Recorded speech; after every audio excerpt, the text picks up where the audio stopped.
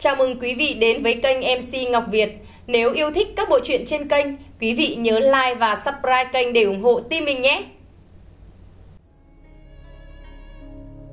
Mao Sơn Quỷ Vương tập 569, Trúc Tử mất tích.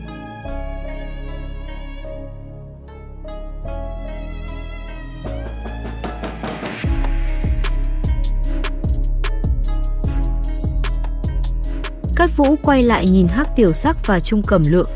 Hắc Tiểu Sắc cười hắc hắc nói, từ lâu đã nghe nói các cô gái miêu chạy nóng bỏng nhiệt tình, hơn nữa lại vô cùng mến khách, ta muốn gặp một chút. Có thể được, nếu Hắc ca đã thích cô gái miêu ra, ta có thể giới thiệu cho ngươi một cô gái, ta đảm bảo sẽ rất xinh đẹp, Tống Mộc Đồng cười nói. Thật sao? Hắc Tiểu Sắc trợn to hai mắt hỏi. Thật đấy, nhưng nếu ngươi nhìn chúng một cô gái ngũ độc trại của chúng tôi và cũng bị cô gái bên phía chúng ta nhìn chúng, thì ngươi phải ở rể ngũ độc trại. Những cô gái ở ngũ độc trại của chúng tôi sẽ không kết hôn ở bên ngoài, Tống Mộc Đồng cười nói. Nghe vậy, Hắc Tiểu Sắc đột nhiên mất đi hứng thú. So với thế giới muôn màu muôn vẻ bên ngoài, Hắc Tiểu Sắc chắc chắn sẽ không muốn ở lại miêu trại. Theo lời của hắn ta nói, tuyệt đối không bao giờ có thể treo cổ mình chết, thứ mà Hắc ca có được là cả một khu rừng rậm. Đúng lúc đó, Tống Mộc Đồng dẫn ba người tiến vào ngũ độc trại. Ngũ độc trại này là một ngôi làng lớn nằm rải rác giữa những khu rừng rậm rạp. Có ít nhất vài nghìn người trong miêu trại, có thể nhìn thấy một tòa nhà sàn ở phía xa trong rừng. Nhà sàn chia làm hai tầng, tầng trên dùng để người ở, tầng dưới chủ yếu nuôi gia cầm, gà, vịt, lợn, chó. Mấy người bọn họ đến đây, Tống Mộc Đồng rất nhiệt tình đón tiếp, đầu tiên dẫn bọn họ đi ăn một bữa ăn thịnh soạn của miêu gia, sau đó dẫn bọn họ đi dạo một vòng trong miêu trại. Không thể không nói, các cô gái người miêu này thực sự rất xinh đẹp và có dáng người tốt. Ánh mắt của hắc tiểu sắc cứ nhìn chằm chằm. Buổi tối, một nhóm người miêu trại tụ tập lại, đốt lửa trại nướng nguyên con cừu, một nhóm thiếu nữ miêu ca hát nhảy múa quanh đống lửa, rất vui vẻ. Cát Vũ cũng nhìn thấy đại vu sư U Dương Hàm của ngũ độc trại, người này chính là sư phụ của Tống Mộc Đồng, Cát Vũ cũng đã nhìn thấy đại vu sư này khi hắn đến ngũ độc trại lần trước. U Dương Hàm cũng nhớ tới Cát Vũ, không ngừng mời bọn họ uống rượu hoa quả do ông ta nấu. Sau khi khiêu vũ suốt đêm, ba người rất vui vẻ, ăn uống no, bọn họ được bố trí nghỉ ngơi trong một ngôi nhà sàn. Sáng sớm ngày mai, liền đưa Tống Mộc Đồng đến Hồng Diệp Cốc, chuyện này coi như đã thành công. Sáng sớm hôm sau, mọi người tụ tập cùng nhau dùng bữa sáng, Tống Mộc Đồng đã thu dọn hành lý và định cùng bọn họ rời đi. Nhưng điều mà mọi người không ngờ tới là một nhóm người lạ đột nhiên xuất hiện bên ngoài ngũ độc trại, khiến toàn bộ ngũ độc trại có cảm giác như đang đối mặt với một kẻ thù đáng gờm. Sáng sớm hôm sau, ba người cắt vũ dự định đưa Tống Mộc Đồng trở lại hiệu thuốc Bắc Tiết ra để sử dụng ngũ độc kim phấn để chữa lành vết thương cho Chu Nhất Dương. Đột nhiên có người của ngũ độc trại tới thông báo, một hán tử người miêu ra vội vội vàng vàng về phía bên này bởi vì quá hoảng sợ trực tiếp ngã xuống đất, thở hồn hển dữ dội, Nhung Bách Đại Vu, không tốt, người của thiên hộ miêu trại đang ở đây. Nhung Bách Đại Vu sừng sốt, nhìn hán tử người miêu, nghi hoặc hỏi, người thiên hộ miêu trại vừa tới đây, ngươi làm sao hoảng hốt như vậy?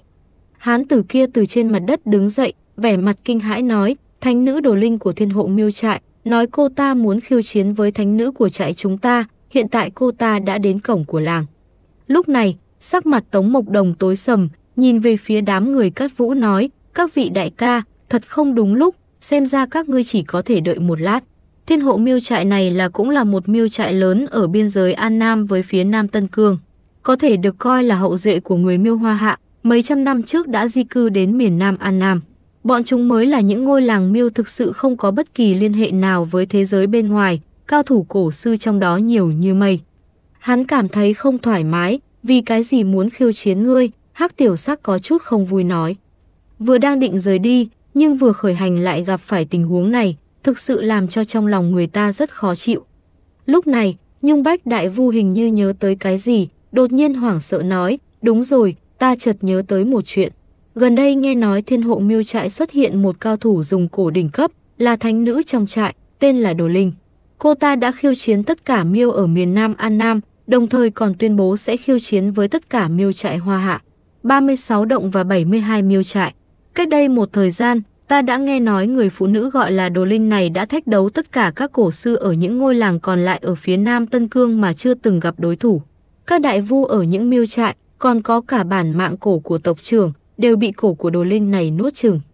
Nghe vậy, các Vũ sừng sốt một chút rồi nói, chúng ta đều chung giống nòi, tại sao phải tàn nhẫn như vậy? Chúng ta chỉ muốn học hỏi lẫn nhau, tại sao lại phải cắn nuốt bản mạng cổ của đối phương? Tôi nghe cổ sư Đồ Linh nói rằng bất cứ người nào khiêu chiến với cô ta, nếu thua cuộc, bản mạng cổ của họ sẽ bị cổ bản mạng của cô ta cắn nuốt. Nếu cô ta thua, cũng sẽ cam tâm tình nguyện đưa bản cổ mạng của mình cho đối thủ. Nói theo cách khác, đó là sự phân chia thắng bại, cũng có nghĩa là sống và chết. Nếu bản mạng cổ của cổ sư bị cắn nuốt, về cơ bản sẽ mất đi hơn một nửa tính mạng, thậm chí có người còn trực tiếp chết, Nhung Bách Đại Vù nói. Mẹ nó, tàn nhẫn như vậy sao? Trung Cẩm Lượng nghe được lời này cũng rất kinh ngạc. Mọi người đang nói chuyện thì đột nhiên có tiếng bước chân truyền tới, mọi người ngẩng đầu nhìn lên thì thấy cách đó không xa có một nhóm người đang đi về phía mình. Toàn bộ người của ngũ độc trại lập tức trở nên căng thẳng, rất nhiều người trong trại đã rút miêu đao của mình ra, bao vây đám người kia. Những người này có khoảng 10 người, đi đầu là một phụ nữ, ăn mặc giống như Tống Mộc Đồng, ngoại trừ việc cô ta mặc bộ quần áo màu đen của người miêu, trên người cũng đeo rất nhiều trang sức bằng bạc. Cô gái dẫn đầu có vẻ ngoài hơn 20 tuổi, khuôn mặt có phần lạnh lùng và đôi mắt đẹp sáng ngời sắc bén. Mặc dù bị nhiều người của ngũ độc trại bao vây như vậy, nhưng bước chân của cô ta vẫn không dừng lại, mà đi thẳng về phía Tống Mộc Đồng. Không lâu sau, cô ta đến gần mọi người, cách Tống Mộc Đồng và những người khác chỉ 5-6 mét rồi dừng lại. Cô gái này chính là thánh nữ đồ linh của thiên hộ miêu trại, cô ta nhìn từ trên xuống dưới Tống Mộc Đồng, sau đó lạnh lùng nói, ngươi chính là thánh nữ Tống Mộc Đồng của ngũ độc trại. Đúng vậy, chính là ta, không biết có gì không. Tống Mộc Đồng không khiêm tốn cũng không kiêu ngạo, nhìn về phía thánh nữ đồ linh. Ta đến từ thiên hộ miêu trại ở An Nam, dự định đi về phía Bắc để khiêu chiến với vu sư và cổ sư trong tất cả các miêu trại. Bây giờ, ta đã khiêu chiến hết 18 miêu trại ở miền Nam An Nam mà không một lần thất bại. Ở miền Nam Tân Cương, ta cũng đã khiêu chiến 7-8 miêu trại, nhưng chưa gặp phải đối thủ nào. Ta nghe nói trên người thánh nữ ngũ độc trại có 5 đại cổ vật, vô cùng lợi hại, cho nên ta tới đây mở mang kiến thức một chút, đồ linh vô cùng cao ngạo nói. Ngươi quá lỗ mãng đi, thậm chí không chào hỏi một tiếng, liền đột nhập ngũ độc trại của ta. Ngươi thật sự cho rằng đây là thiên hộ miêu trại của ngươi, muốn tới thì tới, muốn đi thì đi sao, Tống Mộc Đồng có chút tức giận nói. Nhưng Đồ Linh cười lạnh nói, vậy sao, ngươi rất tức giận sao? Đây thật sự là điều ta muốn thấy, ngươi có thể phóng xuất năm độc cổ của mình ra. Chỉ cần ngươi có thể giết được ta, coi như lời xin lỗi của ta với ngũ độc trại. Ngươi quá kiêu ngạo, thánh nữ ngũ độc trại chúng ta ngươi cũng dám mạo phạm. Một người đàn ông của ngũ độc trại tức giận dơ miêu đao lên, lao về phía đồ linh. Tuy nhiên, hắn ta còn chưa kịp lao tới bên cạnh đồ linh, đồ linh chỉ vung tay, cũng không thấy có cô ta có động tác gì, người đàn ông ngũ độc trại liền ngã thẳng ra sau, toàn thân bắt đầu co giật. Nhung Bách Đại Vu sừng sốt, lập tức bước tới, định đỡ người đàn ông ngũ độc trại đứng dậy. Nhưng tay còn chưa kịp chạm tới người đàn ông, đã lập tức rụt tay lại vì sợ hãi. Nhưng nhìn thấy mặt người đàn ông đỏ bừng, hai mắt mở to, hắn ta đột nhiên mở miệng ra, khó khăn nói, cứu ta với, đau quá. Tống Mộc Đồng thấy vậy liền biết Đồ Linh đã hạ tử thủ, vội vàng vung tay lên, một con rết dài hơn một tấc đáp xuống trên người người đàn ông. Quấn quanh cổ đối phương, sau đó há miệng cắn vào cổ người đàn ông, một vết thương đẫm máu và định hút chất độc có trong cơ thể hắn ta ra ngoài. Nhưng không đợi con rết cổ hút xong, người đàn ông đã nằm bất động trên mặt đất. Hắc tiểu sắc cảm thấy có gì đó kỳ quái, vội vàng bước tới, thả trệ trùng màu đỏ đang bay vòng quanh mình ra. Sau đó vươn tay nắm lấy cánh tay của người đàn ông, lực kéo này khiến tất cả mọi người đều sợ hãi. Bởi vì hắc tiểu sắc lại thực sự đã xé nát một cánh tay của người đàn ông. Khi cánh tay của người đàn ông rơi ra, mọi người đều thấy không có một giọt máu nào chảy ra từ phần cánh tay bị gãy của người đàn ông. Tất cả những gì rơi xuống chỉ là những con giòi bọ trắng. Chỉ một thời gian ngắn, thi thể người đàn ông đã bị cổ trùng ăn trống rỗng. Chỉ là một cái vung tay cũng có thể giết chết một mạng người. Về cơ bản mọi người trong ngũ độc trại đều là cao thủ dùng cổ, làm sao họ từng chứng kiến cảnh tượng đáng sợ như vậy. Thủ đoạn khủng bố này của Đồ Linh thật sự khiến người ta cảm thấy ớn lạnh trong lòng. Giống như thiên niên cổ mới có thể giết người nhanh như vậy. Thật khinh người quá đáng, Nhung Bách Đại Vu đột nhiên nổi giận, lao thẳng về phía Đồ Linh. Người phụ nữ này đủ tàn nhẫn, ngũ độc trại không có thủ oán gì với cô ta, vừa lên đã hạ tử thủ, trực tiếp dùng cổ giết chết một người đàn ông của ngũ độc trại. Nhung Bách Đại Vu lập tức nổi giận, ra vẻ chém giết về phía Đồ Linh. Lúc này Tống Mộc Đồng đột nhiên ngăn lão ta lại, Đại Vu, để ta đối phó cô ta, cô ta tới để tìm ta. Người phụ nữ này vừa xuất hiện đã có mùi thuốc súng trên người, khiến Cát Vũ và những người khác khi nhìn thấy cô ta đều cảm thấy rất không vui. Hắc tiểu sắc ném cánh tay bị cụt trong tay ra, liếc nhìn Đồ Linh, tức giận nói, tiểu nha đầu, lớn lên có chút đứng đắn, nhưng lại hơi tàn nhẫn, có thể sau này sẽ không tìm được chồng. Đúng vậy, ai cưới cô ta nhất định sẽ xui xẻo tám đời, có lẽ chỉ sau một trận cãi vã sẽ bị con quỷ nhỏ này giết chết, Trung Cẩm Lượng cũng phụ họa theo nói. Đồ Linh nghe vậy, khuôn mặt vốn đã lạnh lùng của cô ta đột nhiên trở nên sát khí, các ngươi muốn chết. Ái trà, giọng điệu không tệ, ngươi có biết chúng ta là ai không? Chỉ mình ngươi cũng có thể giết được chúng ta sao? Hắc tiểu sắc chống tay lên hông, cười khúc khích. Hắc ca, không phải ngươi vẫn chưa có vợ sao? Ta thấy cô ta, ngươi cũng có thể trừng trị ổn thỏa. Người bình thường thật sự không thể đối phó với cô gái nhỏ này, Trung Cẩm Lượng cười nói. Xem cô ta lớn lên cũng khá được, miễn cưỡng đành chấp nhận, giữ cho ta làm vợ bé, Hắc tiểu sắc hề hề nói.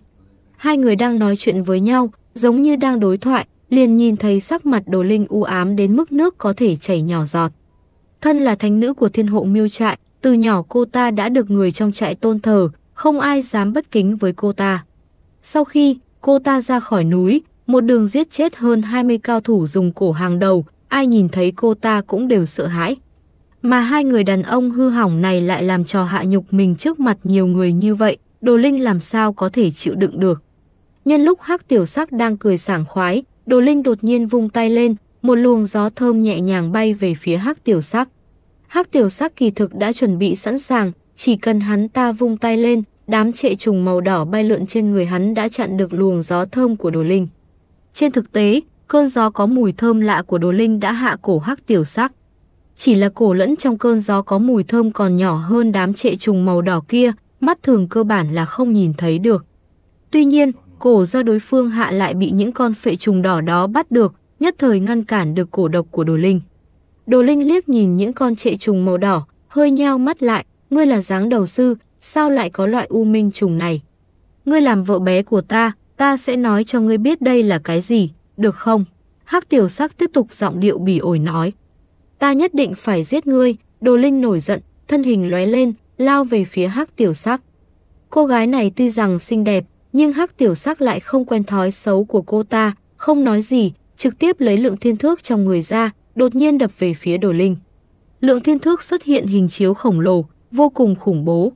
Hắn vừa lấy ra, tạo cho người ta một cỗ áp lực như núi, ngay cả đồ linh cũng cảm thấy mình gặp nguy hiểm lớn, không dám đi tiếp, nhảy qua một bên. Hơn 10 người thiên hộ miêu trại đi theo sau đồ linh, lập tức nhảy sang hai bên. Hình chiếu khổng lồ của lượng thiên thước rơi xuống đất, mặt đất rung chuyển dữ dội, tạo thành một hố sâu. Động thái này không chỉ khiến đồ linh và người của thiên hộ miêu trại sợ hãi mà còn khiến những người ngũ độc trại phải khiếp sợ. Đây là loại thần thông gì vậy? Nếu ai từng chịu đựng như vậy chắc chắn sẽ trở thành một đống thịt nát. Đồ Linh thật khó khăn mới ổn định lại được, liếc nhìn Hắc Tiểu Sắc, nói, ngươi không phải dáng đầu sư, cũng không phải cổ sư, ngươi là người tu hành hoa hạ. Ngươi không cần quan tâm ta là ai, thế nào, chúng ta là người tu hành thì sao? Ngươi dùng cổ, ta dùng lượng thiên thước trong tay, nếu ngươi thắng, mạng của Hắc gia cho ngươi. Nếu ngươi thua, ngươi sẽ làm vợ nhỏ của Hắc gia ta. Ánh mắt Hắc Tiểu Sắc không chút kiêng dè nhìn lên người Đồ Linh, có chút nheo mắt. Ta lần này ra ngoài, là đặc biệt chiến đấu với cổ. Ta sẽ không giao thủ với người tu hành hoa hạ, ngươi tránh ra đi, ta không muốn giết ngươi, đồ linh lạnh lùng nói. Ai, giọng điệu của ngươi lớn như vậy, ngươi thật sự bắt được hắc gia một cái xem, hắc tiểu sắc không tin nói. Ngươi thật sự muốn chết sao, đồ linh trên mặt lộ ra một tia u ám. Về phần ta, xin ngươi nhanh chóng giết ta đi, có thể chết trong tay một tiểu cô nương xinh đẹp như ngươi, hắc ca cũng đáng tiếc, hắc tiểu sắc cười nói. Được, ta sẽ hoàn thành tâm nguyện của ngươi, vừa nói, đồ linh vừa lắc tay, bỗng nhiên một vật gì đó màu sắc sặc sỡ bay ra khỏi cơ thể cô ta, hướng thẳng về phía hắc tiểu sắc. Vật nhỏ này vừa xuất hiện, Cát Vũ nhất thời không khỏi cảm thấy sợ hãi. Vào lúc đó, Cát Vũ cảm giác như mình thấy được thiên niên cổ, hoặc cảm nhận được lực áp bức của thiên niên cổ. Cổ vật do đồ linh thả ra có kích thước tương đương với thiên niên cổ, thiên niên cổ có màu trắng, nhưng cổ do đồ linh phóng ra lại có nhiều màu sắc. Nhưng dường như nó có lực sát thường gần bằng với thiên niên cổ. Hắc tiểu sắc lập tức cảm nhận được mối nguy hiểm to lớn, vội vàng lùi lại một bước. Ngay lập tức, một la chắn cương khí xuất hiện xung quanh người, bảo vệ toàn thân hắn ta. Vật nhỏ này bay rất nhanh, giống như một tia điện, trong nháy mắt đã đến bên cạnh Hắc tiểu sắc, lập tức xuyên thủng lá chắn cương khí của Hắc tiểu lộ, chui vào trong cơ thể hắn.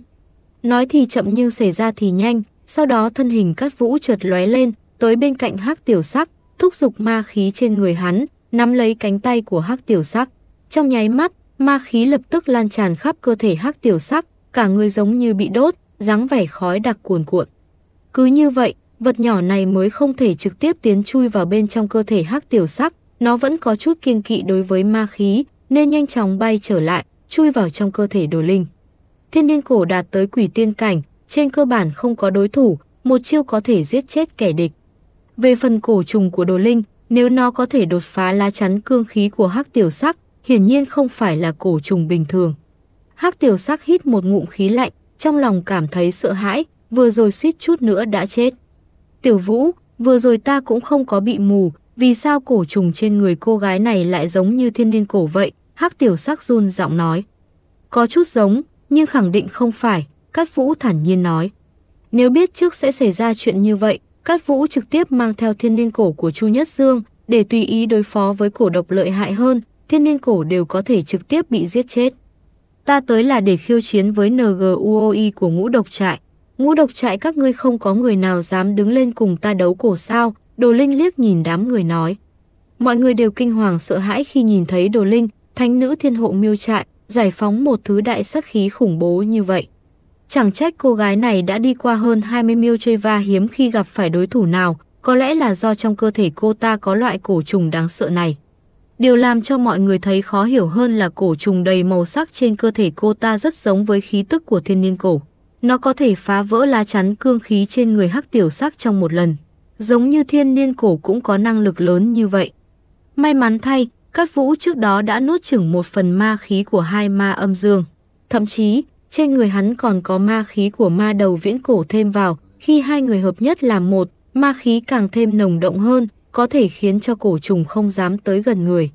Dưới quỷ tiên cảnh, thiên niên cổ hiếm khi gặp phải đối thủ, nhưng với tu vi địa tiên cảnh của các Vũ cổ trùng không thể làm gì được. Chỉ với một đòn, cổ trùng đầy màu sắc đã quay trở lại bên trong cơ thể đồ linh, nhưng cú sốc mà nó mang lại cho con người không thể lớn hơn. Thật khó để tưởng tượng trên thế giới này lại có cổ trùng lợi hại thiên niên cổ. Thiên niên cổ đó là do một trong ba tổ tiên của Mao Sơn để lại. Lúc này, Đồ Linh sau khi thu thập cổ trùng trở về, cô ta lạnh lùng nhìn Tống Mộc Đồng, trầm giọng nói: "Người của Ngũ Độc trại, nghe đây, ta thay mặt cho Thiên Hộ Miêu trại khiêu chiến với Ngũ Độc trại các người. Nếu các ngươi không dám ứng chiến, ta sẽ nói cho những miêu trại khác biết, ngũ độc trại của các ngươi hèn nhát như chuột, tham sống sợ chết, thật sự làm mất mặt người miêu chúng ta. Sau này, mỗi khi ta đi qua từng miêu trại, chính là 36 hang động và 72 miêu trại ở Hoa Hạ. Ta có thể nói một trận, ngũ độc giáo các người thật sự không chịu nổi một đòn, tất cả đều là một đám rùa rụt đầu. Ngay khi những lời này vừa nói ra, toàn bộ người ngũ độc trại tràn ngập sự phẫn nộ. Đặc biệt là đám nam nhân miêu ra càng siết chặt miêu đao, hận không thể xé nát yêu nữ Đồ Linh thành từng mảnh. Tuy nhiên, những người này cũng sợ thủ đoạn dùng cổ của Đồ Linh, xuất quỷ nhập thần, chỉ cần đến gần sẽ chết oan uổng. Vì thế trong lúc nhất thời, những người đó tuy rất tức giận nhưng cũng không có người dám ra mặt. Mà tất cả những ánh mắt của người ngũ độc trại đều nhìn về phía Tống Mộc Đồng, bởi vì yêu nữ Đồ Linh này đặc biệt đến đây để khiêu chiến với cô. Tống Mộc Đồng sắc mặt âm trầm bất định, cô dùng đôi mắt đẹp nhìn Đồ Linh, nói từng chữ, được, ta nhận lời khiêu chiến của ngươi. Ngay khi những lời này được nói ra, người ngũ độc trại thở phào nhẹ nhõm. Nhưng Nhung Bách Đại Vu lại thần sắc khẩn trương, nhìn Tống Mộc Đồng nói, đứa nhỏ này, người này mang theo một loại cổ kỳ quái, chỉ sợ ngươi không phải là đối thủ của cô ta. Cho dù không phải đối thủ của cô ta, cũng không thể làm nhục đệ nhất ngũ độc trại chúng ta, ngũ độc trại chúng ta không thể không dạy dỗ người này, Tống Mộc Đồng trầm giọng nói. Đồ Linh đột nhiên mỉm cười, nhìn về phía Tống Mộc Đồng nói, em gái, ta rất khâm phục dũng khí của ngươi, nhưng ngươi phải biết hậu quả. Khi hai bên chúng ta đấu cổ, phân định thắng thua, cũng có nghĩa là phân định sinh tử. Nếu ngươi thua, ngươi toàn bộ ngũ độc cổ trên người ngươi sẽ bị bản mạng cổ của ta nuốt chừng, nếu ta thua, bản mạng cổ của ta sẽ để ngươi tùy ý xử lý. Được, cứ quyết định vậy đi, Tống Mộc Đồng trầm giọng nói. Không, ngũ độc cổ là sinh mệnh của ngũ độc trại chúng ta. Nếu bây giờ nó biến mất, ngũ độc trại của chúng ta làm sao có được chỗ đứng ở miêu trại. Nhung Bách Đại Vu nói với vẻ mặt lo lắng. Đại Vu, ta tự có chừng mực, Tống Mộc Đồng bình tĩnh nói. Nói đến đây, cô liếc nhìn về phía Cát Vũ, ánh mắt rất bình tĩnh. Cô đương nhiên biết thực lực của Cát Vũ, địa tiên trẻ nhất hoa hạ, cô và Đồ Linh đấu cổ, Cát Vũ và những người khác không thể chỉ đứng đó nhìn. Nếu có chuyện gì bất ngờ xảy ra, cô tin tưởng chắc chắn Cát Vũ và những người khác sẽ ra tay. Vì vậy, ba người Cát Vũ là con át chủ bài mạnh nhất chưa lật của Tống Mộc Đồng. Cát Vũ liếc nhìn Tống Mộc Đồng, nhắc nhở, cẩn thận, nữ nhân này không đơn giản. Tống Mộc Đồng gật đầu, tiến lên vài bước, nhìn Đồ Linh nói, bắt đầu đi. Đồ Linh tự nhiên có lòng tin, không sợ Tống Mộc Đồng, cô ta cũng tiến về phía trước hai bước, khoảng cách giữa hai người chỉ có 6-7 mét. Loại chuyện cổ đấu thường thấy ở miêu trại, rất nhiều miêu trại ít nhiều có năng có thể dưỡng cổ, nếu xảy ra bất hòa sẽ trực tiếp đánh nhau. Nhưng đây là lần đầu tiên mọi người nhìn thấy một thủ đoạn đấu cổ bằng mạng sống như vậy. Người của hai bên đều lùi lại tạo thành vòng tròn, bao vây hai người ở giữa. Hai người nhìn nhau một lúc lâu, nhưng không ai ra tay trước. Nhưng khi Cát Vũ nhìn về phía Tống Mộc Đồng, hắn lại cảm thấy cô rất khẩn trương, trên trán lấm tấm mồ hôi. Cát Vũ tin là Tống Mộc Đồng có lẽ không phải là đối thủ của Đồ Linh, mặc dù trên người cô có 5 đại bản mạng cổ, nhưng chúng không mạnh bằng một con trùng cổ của Đồ Linh. Khoảng 2-3 phút sau, Đồ Linh nói, ta có thể để ngươi ra tay trước, chiếm lấy lợi thế. Ngươi tới đây khiêu chiến, đương nhiên là ngươi ra tay trước, Tống Mộc Đồng nói. Ngươi thật không biết quý trọng, Đồ Linh hừ lạnh một tiếng, đột nhiên lấy từ trong người ra một vật giống như chiếc lá, đặt lên đôi môi mỏng đỏ mọng, đột nhiên phát ra một âm thanh kỳ quái. Lá cây vừa phát ra âm thanh thì một cơn gió lạ chợt thổi tới khiến lá cây xào xạc. Mờ thanh này dường như có ma lực, lập tức làm cho người ta cảm thấy choáng váng. May mắn thay, Cát Vũ và những người khác vẫn có khả năng tập trung vô cùng tốt, ổn định tâm trí. Lông mày của Tống Mộc Đồng khẽ cau lại, nhìn lại càng lo lắng hơn. Không lâu sau, cùng với tiếng lá cây, một con bướm trắng lớn đột nhiên tụ tập từ mọi hướng, bay lượn trên đầu Đồ Linh và rơi xuống một mảng bột trắng lớn. Khi người dân ngũ độc trại nhìn thấy, nhất thời hoảng sợ lùi về phía su. Nhung Bách Đại Vu thậm chí còn hét lên, không xong rồi, là nơ xí cổ, mọi người lùi lại phía sau. Vô số con bướm trắng ngày càng nhiều, lên tới hàng chục nghìn con, tụ tập thành một dòng nước lớn, bay lượn xung quanh Đồ Linh. Lúc này, Tống Mộc Đồng đột nhiên lấy ra một cây sáo xương trắng, đặt lên môi, phát ra âm thanh du dương du dương. Không lâu sau, liền một con tắc kè rất lớn, toàn thân màu xanh biếc, bò ra từ chiếc cổ trắng như sen của cô và leo thẳng lên đỉnh đầu của Tống Mộc Đồng. Con thần lằn màu xanh nằm trên đầu Tống Mộc Đồng, bất động, nhưng đôi mắt xanh của nó nhìn về phía những con bướm trắng dày đặc cách đó không xa. Khoảnh khắc tiếp theo, Đồ Linh vung tay lên, vô số con bướm trắng lập tức bay về phía Tống Mộc Đồng, trong nháy mắt bao vây cô ở giữa. Trong nháy mắt, trong nháy mắt đã không còn nhìn thấy Tống Mộc Đồng đâu nữa, chỉ có thể nhìn thấy là vô số ẩn xí cổ hình thành một vòng tròn, không ngừng bay vòng quanh. Nhìn thấy cảnh tượng này, Hắc Tiểu Sắc và Trung Cẩm Lượng không khỏi hoảng sợ. Hắc Tiểu Sắc đến gần Cát Vũ, thấp giọng hỏi, "Tiểu Vũ, cô nương nhà họ Tống không có nguy hiểm gì hả? Sao lại không ra tay?" Cát Vũ rất bình tĩnh nói, "Hắc ca, ngươi đừng lo lắng, Tống Mộc Đồng dù sao cũng là thánh nữ của ngũ độc trại. Nếu muốn đánh bại cô ấy không phải là điều dễ dàng. Chúng ta yên lặng xem chuyện gì sẽ xảy ra. Ngàn vạn lần đừng ra tay cho đến cuối cùng. Dù sao đây cũng là tranh chấp giữa miêu trại. Hắc tiểu sắc gật đầu nói, hai cô gái đều rất xinh đẹp, đáng tiếc lại có thủ đoạn dọa người như vậy, người bình thường thật sự không dám lấy bọn họ. Hắc ca, ngươi có hứng thú đối với cô gái ở thiên hộ miêu trại à? Trung Cẩm Lượng cười hì hì hỏi. Ta có hứng thú với các em gái hơn, nhưng bọn họ phải bằng lòng mới được, Hắc tiểu sắc cười nói. Hắc ca, ngươi phóng đãng như vậy, ngay cả huyết linh lão mẫu cũng dám có ý đồ, còn chuyện gì không làm được. Nếu không một lúc nữa chúng ta ra tay, đánh cho cô gái thiên hộ miêu trại khuất phục, mang về cho ngươi làm vợ, Trung Cẩm Lượng lại nói. Đáng chết, chuyện này không thể làm được, vạn nhất nếu cô gái này không thích, sẽ hạ cổ ta, ruột sẽ lập tức bị đứt, chết rất thê thảm. Không được, không được, Hắc tiểu sắc liên tục lắc đầu. Ở đây hai người đang trêu chọc nhau. Đột nhiên, những con bướm trắng đang vây quanh Tống Mộc Đồng chậm lại, sau đó, mọi người nhìn thấy một mảng lớn ẩn xí cổ rơi xuống, trong vòng 1-2 phút, tất cả những con bướm trắng đều chết, một bức tường xác bướm cao hơn nửa mét bao quanh Tống Mộc Đồng. Nhưng Tống Mộc Đồng lại hoàn hảo đứng đó, điểm khác biệt duy nhất là con thần lằn màu xanh trên đầu Tống Mộc Đồng trông to hơn, màu sắc cũng sáng hơn, màu xanh ngọc lục bảo, giống như một viên ngọc bích. Không ai biết trong khoảng thời gian ngắn, Tống Mộc Đồng làm thế nào có thể giết được nhiều ẩn xí cổ như vậy. Ngay sau đó, con thần lằn xanh lớn từ trên người Tống Mộc Đồng nhảy xuống, há miệng lớn nuốt chửng vô số xác ẩn xí cổ trước mặt, vừa kịp dọn đường cho Tống Mộc Đồng đi ra. Khi người ngũ độc trại nhìn thấy Tống Mộc Đồng đã giết hết cổ do đồ linh của thiên hộ miêu trại thả ra, nhất thời vô cùng kích động, tất cả đều gieo hò. Tuy nhiên, khi Cát Vũ nhìn về phía đồ linh, phát hiện cô ta không hề tỏ ra hoảng sợ hay hối hận chút nào.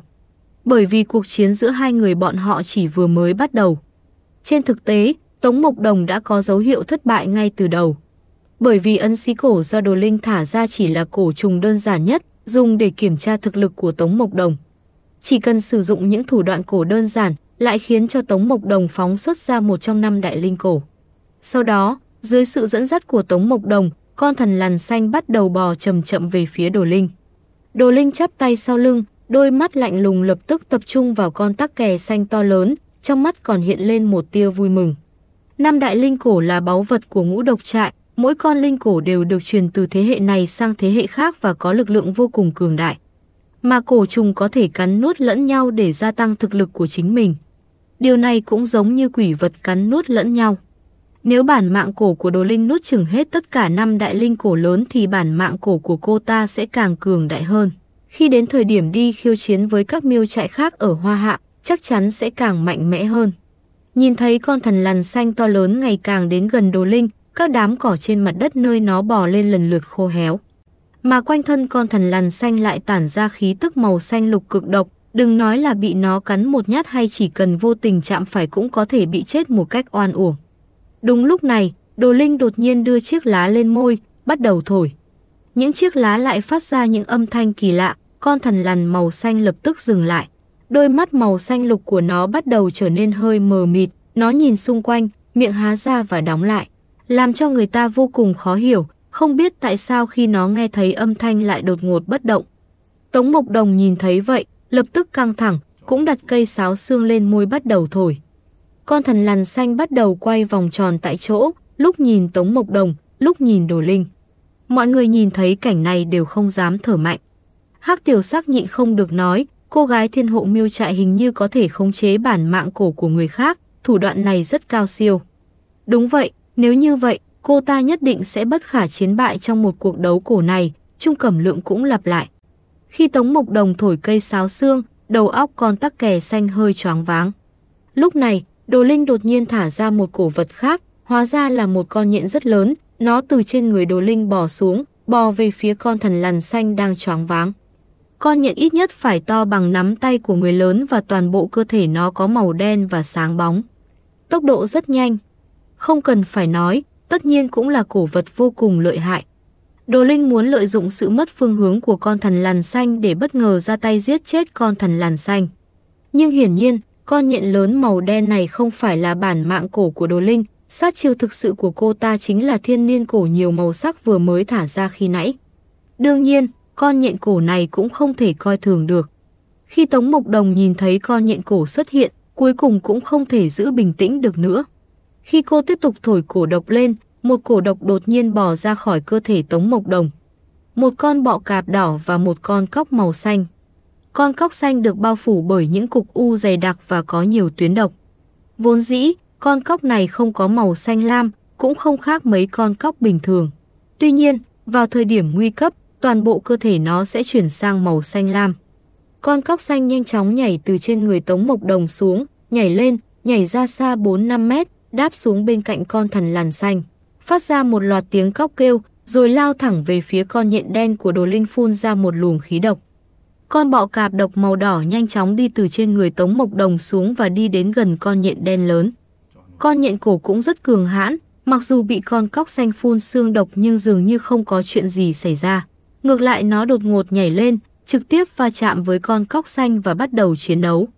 Khi con nhện đen đánh nhau kịch liệt với con cóc xanh, nó còn phun ra một ít tơ trắng quấn quanh cơ thể con cóc xanh. Đồ linh của thiên hộ miêu trại có thể khống chế bản mạng cổ của người khác. Đây là một đòn chí mạng đối với hầu hết các cổ sư. Trước đó, Tống Mộc Đồng đã thả ra một con thần lằn màu xanh biếc, nhưng Đồ Linh đã làm cho đầu óc nó choáng váng. Sau đó Đồ Linh lại thả ra một con nhện đen lớn, có ý định nuốt chửng con thần lan xanh. Để bảo vệ con thần lằn xanh trong ngũ độc, Tống Mộc Đồng không còn cách nào khác ngoài việc phóng ra thêm hai bản mạng cổ nữa. Trong số tất cả các cổ sư tu hành cổ độc, tất cả các cổ sư về cơ bản chỉ có một bản mạng cổ. Nhưng Tống Mộc Đồng lại là một ngoại lệ, là thánh nữ của ngũ độc giáo, cô có 5 bản mạng cổ. Thậm chí năm loại độc này còn là năm loại kỳ cổ được truyền từ đời này sang đời khác trong ngũ độc trại, có thể nói là bảo bối áp đáy hòm của ngũ độc trại. Cho dù mất đi cái nào thì đó cũng sẽ là một tổn thất to lớn không thể bù đắp được đối với ngũ độc trại. Đúng lúc đó, con nhện cổ do đồ linh thả ra nhả ra vài sợi tơ mỏng và quấn lấy con cóc xanh. Con cóc màu xanh phát ra một tiếng kêu kỳ lạ, trên người hiện ra một luồng sáng xanh. Ngay khi con nhện cổ quấn lấy con cóc xanh, con bọ cạp độc màu đỏ do Tống Mộc Đồng phóng ra đã áp sát con nhện đen, chiếc đuôi kim phía sau dơ cao đâm thẳng lên người con nhện đen. Thân hình con nhện lóe lên, nhảy sang một bên, nhưng vẫn không thoát được, lập tức bị đuôi kim bọ cạp độc màu đỏ đâm vào phía sau lưng. Vốn dĩ, con nhện đen có màu đen như than, lập tức biến thành màu đỏ như máu và chết ngay tại chỗ. Những người ở ngũ độc trại nhìn thấy cổ vật do Tống Mộc Đồng phóng ra đã thực sự đã giết chết cổ của Đồ Linh, nhất thời khiến mọi người phấn chấn, nhịn không được gieo hò ầm ĩ. Nhưng Cát Vũ nhìn thấy tình huống này, không khỏi càng thêm khẩn trương. Bởi vì hắn vẫn luôn theo dõi từng hành động của Đồ Linh, cho dù con nhện cổ do cô ta phóng ra đã bị Tống Mộc Đồng giết chết.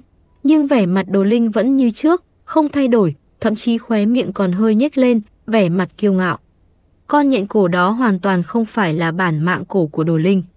Cô ta đang từng bước dụ kẻ thù tiến vào sâu hơn. Vào lúc này, Tống Mộc Đồng đã phóng ra ba bản mạng cổ. Sau khi giết chết con nhện cổ, ba bản mạng cổ đồng thời quay lại nhìn Đồ Linh. Đồ Linh nhịn không được, bật lên cười lớn, chúng ta có thể bắt đầu thu hoạch rồi. Những bản mạng cổ này đều là thứ rất quý hiếm. Nói xong, Đồ Linh vừa vỗ nhẹ vào ngực, trong miệng thầm lẩm bẩm vài câu, lập tức con cổ trùng đầy màu sắc đột nhiên bay ra khỏi cơ thể cô ta, bay thẳng về phía ba bản mạng cổ của Tống Mộc Đồng. Cẩn thận, Cát Vũ nhịn không được lên tiếng nhắc nhở. Nhưng sau khi nhìn thấy cổ trùng đầy màu sắc bay ra khỏi cơ thể Đồ Linh, lập tức lao thẳng về phía ba bản mạng cổ của Tống Mộc Đồng. Tất nhiên, Tống Mộc Đồng cũng nhìn thấy được cổ trùng do Đồ Linh thả ra, lập tức cảm thấy áp lực rất lớn. Cô đồng thời gọi ba bản mạng cổ quay lại và cũng thả hai bản mạng cổ còn lại ra. Ngũ độc được chia là bọ cạp, rắn độc, cóc, thằn lằn và rết. Sau đó, Tống Mộc Đồng thả ra một con rắn độc và một con rết. Tất cả ngũ độc cổ đều được phóng ra, giải rác xung quanh bốn phía Tống Mộc Đồng, nhìn chằm chằm về phía con cổ trùng do Đồ Linh phóng ra. Cổ trùng đầy màu sắc không vội vàng tấn công mà từ từ di chuyển về phía ngũ độc. Năm con cổ trùng của Tống Mộc Đồng cũng bắt đầu từ từ tiếp cận con cổ trùng của Đồ Linh. Rất nhanh sau đó, năm con cổ trùng đều tự phân tán, vây quanh con cổ trùng đầy màu sắc ở giữa. Con cóc xanh phát ra một tiếng kêu ộp ộp, cổ họng bắt đầu lộ ra. Con rắn độc màu đỏ không ngừng nuốt chửng những con rắn con. Năm con cổ trùng đều có dáng vẻ như lâm vào đại địch. Bọn chúng cũng có niềm kiêu hãnh của riêng mình, vì năm con kỳ cổ đã được truyền lại hàng trăm năm của ngũ độc trại nên tùy tiện lấy ra một con đều có thể hoành hành khắp miêu trại. Nhưng khi đối mặt với con cổ trùng do đồ linh thả ra, năm con cổ trùng rõ ràng lộ ra sự rụt rè, sợ hãi. Đột nhiên, con cóc màu xanh ra tay trước, đột ngột nhảy lên, duỗi ra một cái đầu rắn dài, lao thẳng về phía con cổ trùng của đồ linh để dò xét. Mọi người đều cho rằng con cổ trùng sẽ né tránh, nhưng không biết là con cổ trùng không hề cử động, trong nháy mắt đã bị con cóc xanh nuốt chửng. Sau khi con cóc xanh nuốt chửng con cổ trùng của đồ linh, nó chớp mắt hai cái rồi nuốt thẳng vào bụng. Khi người ngũ độc trại nhìn thấy cảnh tượng này, tất cả đều thở phào nhẹ nhõm. Đồ Linh người có tiếng là khiêu chiến hơn 20 miêu trại, chẳng qua chỉ là vậy, bản mạng của cô ta thậm chí không thể đánh bại một trong ngũ độc cổ. Tuy nhiên, không đợi cho người ngũ độc trại có thể vui mừng được lâu con cóc xanh vừa nuốt chửng con con cổ trùng đột nhiên phát ra một tiếng kêu kỳ lạ và trực tiếp đổ người, giơ hai chân lên không trung, để lộ cái bụng trắng nõn. Ánh sáng xanh trên người nó đột nhiên mở đi. Ngay sau đó, bụng cóc xanh đột nhiên thủng ra một cái lỗ, từ trong bụng có một con sâu nhiều màu sắc chui ra, chính là cổ trùng của đồ linh. Sau khi cổ trùng bay ra ngoài, nó lập tức nhắm vào mục tiêu thứ hai, bay về phía con thần lằn xanh biếc. Con thần lằn xanh biếc lập tức nhảy lên và nuốt chửng con cổ trùng vào miệng chỉ bằng một cú đớp. Nhìn thấy cảnh tượng này, Cát Vũ nghĩ thầm, chuyện này không xong rồi, ngũ độc cổ này không phải là đối thủ của tiểu cổ trùng, có thể tất cả đều bị con cổ trùng của đồ linh giết chết. Vốn dĩ Cát Vũ không muốn tham gia vào trận chiến đấu cổ của người miêu gia, nhưng đột nhiên hắn nhớ ra điều gì đó. Lần này bọn họ đến đây tìm Tống Mộc Đồng để xin ngũ độc kim phấn, chính là phân do năm con cổ trùng lấy ra. Nếu năm con cổ trùng này bị giết thì Chu Nhất Dương sẽ gặp nguy hiểm. Do dự một lát, Cát Vũ nhìn thoáng qua về phía Tống Mộc Đồng, phát hiện sắc mặt cô tái nhợt, thân thể khẽ run lên, trên trán lấm tấm mồ hôi. Con cóc xanh vừa bị vỡ bụng, chưa chết mà chỉ đang quằn quại đau đớn trên mặt đất. Tiếp theo, con thần lằn màu xanh liền thê thảm, động tác của nó còn lớn hơn con cóc màu xanh. Nó nhảy lên nhảy xuống, sau đó quằn quại, không lâu sau bụng nó thủng một cái lỗ, con cổ trùng lại bay ra ngoài. Hai con bản mạng cổ trùng đều bị thương nặng, tình trạng của Tống Mộc Đồng đương nhiên cũng không khá hơn là mấy. Bản mạng cổ gắn liền với mạng sống của chủ nhân, nếu bản mạng cổ bị tổn hại nghiêm trọng, chủ nhân của nó đương nhiên cũng sẽ phải chịu thiệt hại. Nhưng Tống Mộc Đồng đột nhiên kêu rên một tiếng, phun ra một ngụm máu. Nhưng con cổ trùng của Đồ Linh không hề có ý định dừng lại, lập tức bay về phía con rết trăm chân. Nhìn thấy hai người đồng bạn đã trở thành như vậy, con rết trăm chân không dám ứng chiến, nhanh chóng bỏ về phía Tống Mộc Đồng. Lúc này, tốc độ cổ trùng của Đồ Linh đột nhiên nhanh hơn rất nhiều, trước khi con rết trăm chân có thể đến gần Tống Mộc Đồng, nó đã đậu thẳng vào người.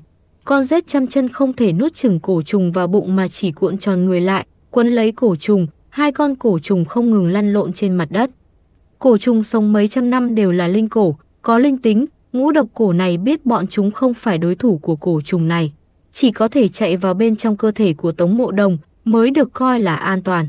Con bò cạp độc đổ và con rắn lập tức đổi hướng, bò về phía Tống Mộc Đồng.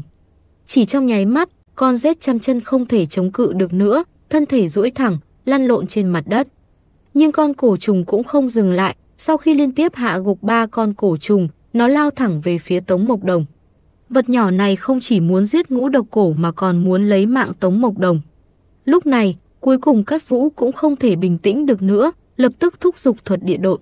Trong nháy mắt lắc người đến bên cạnh Tống Mộc Đồng, thúc giục ma khí toàn thân, đặc biệt là trên hai tay ma khí cuồn cuộn. Ngay sau đó, khi con cổ trùng bay tới, Cát Vũ đưa tay ra và nắm lấy nó. Cổ trùng vẫn như trước, không né tránh, trực tiếp bị Cát Vũ nắm trong lòng bàn tay. Điều Cát Vũ không ngờ được là mặc dù trên người hắn trà đầy ma khí nhưng lại không thể ngăn cản được con cổ trùng của Đồ Linh. Sau khi bị Cát Vũ bắt được, con cổ trùng đã chui thẳng vào lòng bàn tay của Cát Vũ. Một cảm giác đau đớn toàn thân phát ra từ lòng bàn tay và lập tức lan ra khắp cơ thể. Cát Vũ có thể cảm nhận được cổ trùng đang bò lên cánh tay mình, hướng lên trên mặt, trong nháy mắt đã bò lên vai. Khi hắn nhìn lại cánh tay của mình, trong nháy mắt nó đã sưng lên. Vật nhỏ này, vậy mà có lực sát thương đáng sợ giống như thiên niên cổ. Lúc đầu Cát Vũ còn tưởng rằng vật nhỏ này e sợ ma khí trong người hắn, bằng chứng tốt nhất là vừa rồi hắn đã cứu hắc tiểu sắc. Nhưng xem ra hiện tại con cổ trùng nhỏ này cũng không sợ hãi lắm, có thể chỉ là kiên kỵ ma khí, nhưng nếu trực tiếp va chạm, nó có thể chịu đựng được áp lực của ma khí. Lúc này, cổ trùng bò tới trên vai Cát Vũ, không còn động đậy nữa. Đồ linh của thiên hộ miêu trại nhìn về phía Cát Vũ, cười lạnh nói, ta từng gặp người không sợ chết, cũng chưa từng thấy ai ngu ngốc như ngươi, ngươi có biết đây là loại cổ gì không? Sao dám lấy tay ra bắt, ta nghĩ người thấy mạng mình quá dài. Chỉ là đấu cổ thôi, sao có thể lấy mạng người, Cát Vũ lạnh lùng nói. Ngươi trước tiên nên tự lo liệu cho mình đi, mạng sống của ngươi lúc này đang nằm trong tay ta. Ta muốn ngươi khi nào chết, thì ngươi sẽ chết lúc đó. Ngươi còn dám xen vào chuyện của người khác, Đồ Linh mỉa mai nói. Tiểu Vũ, chuyện gì đang xảy ra vậy? Con cổ trùng nhỏ này không phải sợ ma khí trên người ngươi sao? Hắc tiểu SACDOT nhiên hoảng sợ. Cát Vũ cũng không đáp lại Hắc tiểu sắc, sắc mặt tối sầm, nhìn Đồ Linh nói, ngươi thực sự nghĩ ngươi có thể giết được ta. Không phải sao, nếu ta muốn ngươi chết, thậm chí nửa phút ngươi cũng không trụ được, Đồ Linh tự tin nói. Vậy ngươi thử xem, nếu như ngươi thua, ta liền giết cổ trùng của ngươi cát vũ trầm giọng nói. Được, đây là ngươi tự mình tìm chết, đừng trách ta tàn nhẫn. Nói xong, Đồ Linh bắt đầu yên lặng niệm chú. Ngay sau đó, cổ trùng trên vai Cát Vũ bắt đầu bò lên trên, trong nháy mắt đã ở trên cổ Cát Vũ. Mọi người có thể thấy rõ trên cổ Cát Vũ có một cục u lồi ra, có thứ gì đó đang bò dưới da, hướng về phía đầu Cát Vũ. Một khi thứ này chui vào đầu, ngay cả Đại La Kim Tiên chắc chắn sẽ không thể sống sót. Đúng lúc này, Cát Vũ đột nhiên thúc giục một cỗ lực lượng, đó chính là lực lượng của Phật đỉnh xá lợi, trên người đột nhiên lóe lên một cỗ Phật quang màu vàng. Khi ma khí và Phật quanh đồng thời bao phủ lên người Cát Vũ, tiểu cổ trùng dường như đã gặp phải lực cản rất lớn. Mặc dù nó đã cố gắng leo lên nhưng tốc độ đã chậm lại đáng kể, thậm chí di chuyển về phía trước 1mm đều rất khó khăn. Ma khí và lực lượng Phật đỉnh xá lợi đều đồng thời thi triển ra, mặc dù đã phát huy tác dụng nhưng vẫn không ngăn được cổ, Cát Vũ vô cùng buồn bực, không biết đây là cái quái gì. Tuy nhiên, Cát Vũ không bỏ cuộc, bởi vì hắn còn có nhất chiêu thủ đoạn giữ mạng, đó chính là bão pháp thiên tượng công được tổ tiên hắn truyền lại. Ngay lập tức, Cát Vũ niệm pháp quyết, một khí tức quang minh chính đại tự nhiên bộc phát, bốn phía đột nhiên nổi gió. Mạch máu trên người Cát Vũ lần lượt phồng lên, trong lúc nhất thời khí chàng dâng trào, các lỗ chân lông trên cơ thể hắn đều mở rộng. Ưu điểm lớn nhất của bão pháp thiên tượng công này là nó có thể hấp thụ lực lượng thiên địa ngũ hành, đồng thời áp dụng phương pháp tương sinh và tương khắc. Trên thế giới này luôn có một biện pháp đối phó với loại cổ trùng này. Sau khi cảm nhận được lực lượng phát ra từ cơ thể Cát Vũ, Đồ Linh không khỏi có chút lo lắng. Cô ta đột nhiên có một sự cảm rất không tốt. Tất cả lực lượng trong cơ thể tập hợp lại để chống lại con cổ trùng trong cơ thể Cát Vũ. Sau một hai phút, cuối cùng con cổ trùng không thể chống cự được nữa và bay thẳng ra khỏi cổ Cát Vũ, nhanh chóng hướng về phía Đồ Linh. Bên kia, Hắc tiểu SACDA chuẩn bị sẵn sàng, khi con tiểu cổ trùng bay ra ngoài, hắn ta trực tiếp dùng lượng thiên thước trong tay đập nó, giống như đập rùi vậy. Nhưng con tiểu cổ trùng lại rất linh hoạt, trong nháy mắt né tránh. Nó né tránh được lượng thiên thước, nhưng không né được trung cẩm lượng đằng sau nó. Ngay khi nhìn thấy tiểu cổ trùng bay ra khỏi cổ cắt vũ, trung cẩm lượng đã ném tháp hạo thiên ra. Trên tháp hạo thiên ma khí tràn ngập cuồn cuộn, vật này cũng là một trong 10 đại thần khí hoa hạ, vừa xuất hiện, đã từ trên lao xuống, phía dưới tháp sinh ra một lực hút cực lớn, trực tiếp đem cổ trùng bao phủ vào bên dưới. Đồ Linh nhìn thấy tình huống này, lập tức kinh hãi, lao về phía tháp Hạo Thiên, ý đồ đoạt lại cổ trùng. Nhưng Trung Cẩm Lượng không cho cô ta cơ hội này, chỉ cần vung tay lên, tháp Hạo Thiên lại bay về trong tay hắn ta. Cái gì? Ngươi muốn cướp? Vừa rồi huynh đệ ta nói, nếu cổ trùng này không giết huynh đệ ta, chúng ta sẽ xử lý nó. Trung Cẩm Lượng lập tức đem tháp Hạo Thiên giấu ở sau lưng. Cát Vũ trực tiếp thi triển thất tinh kiếm, chỉ vào Đồ Linh, lùi lại. Ta tới đây cùng ngũ độc trại đấu cổ, các ngươi vì sao lại xen vào chuyện của người khác? Đồ Linh tức giận. Nhìn thái độ của ngươi, ngươi liền không muốn cái kia cổ trùng của ngươi đúng không? Hắc tiểu sát trông tay lên hông nói. Ở bên đó, Nhung Bách Đại Vu đã đỡ Tống Mộc Đồng ngã xuống đất lên, đồng thời cũng nhấc bổng hai con ngũ độc cổ bị thương nặng khác lên khỏi mặt đất. Cổ trùng của Đồ Linh không giống bình thường, ngay cả Cát Vũ vừa rồi cũng suýt bị nó đánh trúng, nó thực sự có chút khí chất của thiên niên cổ. May mắn thay, Trung Cẩm Lượng đã sử dụng tháp hạo thiên để trấn áp cổ trùng. Nếu Trung Cẩm Lượng không buông tay, có thể năng lượng của cổ trùng này sẽ hòa tan cùng với ma khí của mờ ma. Sau đó, biến thành một bộ phận năng lượng bị Trung Cẩm Lượng hấp thụ. Nhìn thấy cổ trùng bách chiến bách thắng lại bị Trung Cẩm Lượng bắt đi, Đồ Linh sợ hãi không thể bình tĩnh được nữa, vội vàng đưa tay ra chộp lấy, nhưng lại bị Cát Vũ và Hắc Tiểu Sắc chặn lại. "Trả cổ trùng cho ta." Đồ Linh kinh hãi, khuôn mặt xinh đẹp tràn đầy hoảng sợ. "Ngươi nói trả là trả cho ngươi sao? Dựa vào cái gì? Nếu không phải thủ đoạn chúng ta mạnh hơn, lúc này cổ trùng đó đã giết chết tất cả chúng ta rồi phải không?" Hắc Tiểu Sắc cười lạnh. "Ta tới đây để đấu cổ với ngũ độc trại, các ngươi không phải người miêu trại, vì sao phải xen vào chuyện này?" Lúc này, một vị lão giả đứng phía sau Đồ Linh đứng lên, âm trầm nói: Đấu cổ chính là đấu cổ, vốn dĩ chúng ta không nên can thiệp vào chuyện giữa miêu trại các người. Nhưng có một điều, ngươi dùng danh nghĩa đấu cổ mà nuốt chửng cổ của người khác. Trên đường đi, ngươi đã đánh bại hơn 20 miêu trại, chắc chắn sẽ có rất nhiều người mất mạng vì không có bản mạng cổ. người bị thương nặng lại càng nhiều phải không? Các ngươi làm sao là đấu cổ, coi mạng người như cỏ rác, tổn hại người vô tội. Chỉ dựa vào điểm này, ta giết hết người thiên hộ miêu trại các ngươi, người khác cũng không nói gì, Cát Vũ nghiêm túc nói. Còn một điều nữa, ngũ độc trại là bằng hữu của chúng ta, ngươi động thủ với người ngũ độc trại, làm sao chúng ta có thể đứng yên, Hắc Tiểu Sắc nói tiếp. Người đứng sau đồ linh có lẽ là đại vu của thiên hộ miêu trại, lão ta lạnh lùng liếc nhìn bọn người Cát Vũ, sau đó nói, để lại một cái tên, thiên hộ miêu trại sẽ nhớ kỹ các người. Cái gì, ngươi muốn báo thù, Hắc Tiểu Sắc nhìn về phía đại vu nói. Ngươi không dám nói sao, đại vu có chút châm chọc nói. Không phải là ta không dám nói, mà là bởi vì ta sợ nói ra sẽ dọa người chết mất. Trung Cẩm Lượng nói, nhìn về phía Cát Vũ đứng ở một bên, giới thiệu, ngươi hãy nhìn cho kỹ, đây là Cát Vũ, đệ tử của Trần Duyên chân nhân Mao Sơn Tông, đạo hàm là Long Viêm, cũng là trưởng giáo tương lai của Mao Sơn Tông. Nếu ngươi có đủ can đảm để tìm Mao Sơn Tông trả thù, hoan nghênh các ngươi có thể đến đó bất cứ lúc nào. Còn nếu các ngươi không dám đi Mao Sơn Tông, ta sẽ nói cho ngươi một địa phương khác, hiệu thuốc tiết ra ở Hồng Diệp Cốc, lỗ địa, các ngươi cũng có thể tới tìm chúng ta. Những lời này vừa nói ra, đại vu của thiên hộ miêu trại và đồ linh đều mở to mắt, không thể tin được nhìn về phía Cát Vũ. Ngươi, ngươi là Cát Vũ Mao Sơn Tông, địa tiên trẻ tuổi nhất hoa hạ, đại vu không thể tin nói. Không còn cách nào khác, danh tiếng Cát Vũ quá lớn, hắn là địa tiên trẻ tuổi nhất ở hoa hạ, danh hiệu này đã được xác lập vững chắc. Trong mấy năm qua, đám người Cát Vũ đã tung hoành Nam Bắc, ngao du đến Đông Nam Á, tiêu diệt Hắc Thủy Thánh Linh ở Đông Nam Á, Hắc Ma Giáo ở Malaysia và giết chết Taro Miyamoto và những người khác. Làm sao một cái thiên hộ miêu trại nho nhỏ có ngàn hộ lại dám đắc tội một cao thủ vĩ đại như vậy?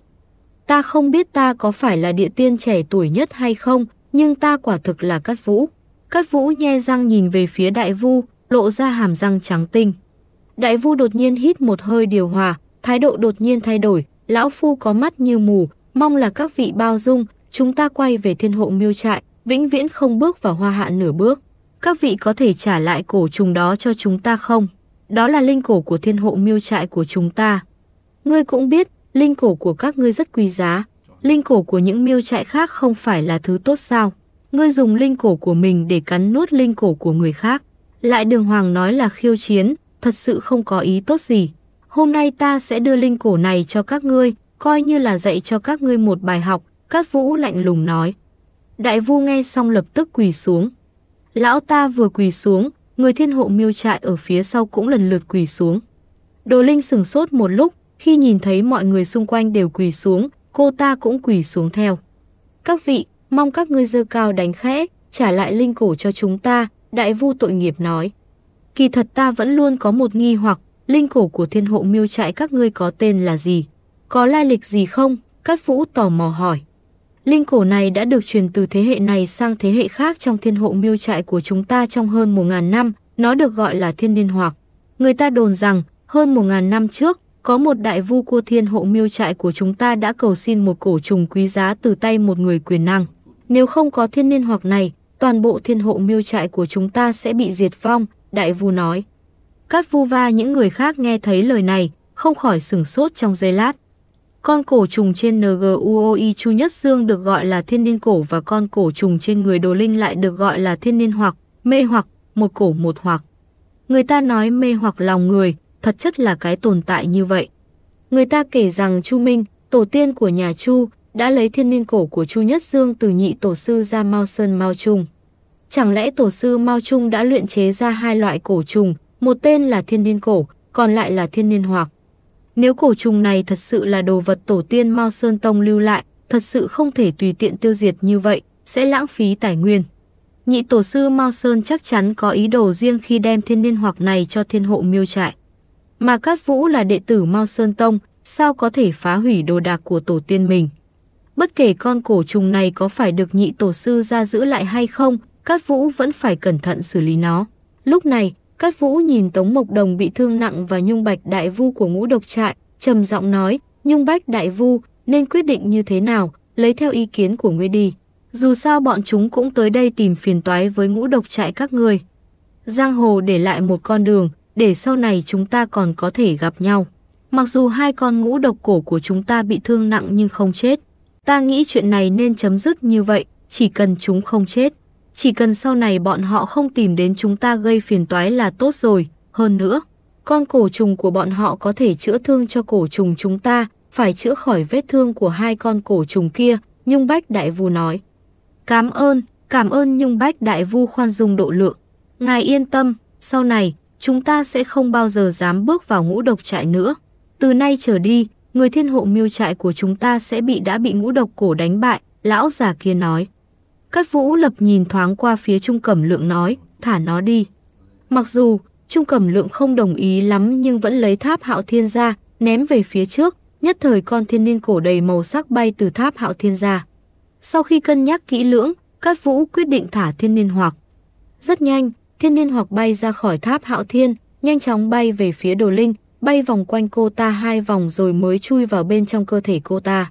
Người thiên hộ miêu chạy mọi thấy thiên niên hoặc đã quay trở lại, vô cùng vui mừng. Đại vu của thiên hộ miêu chạy nhanh chóng quỳ xuống đất, dập đầu về phía Cát Vũ, cảm ơn ngàn vạn lần.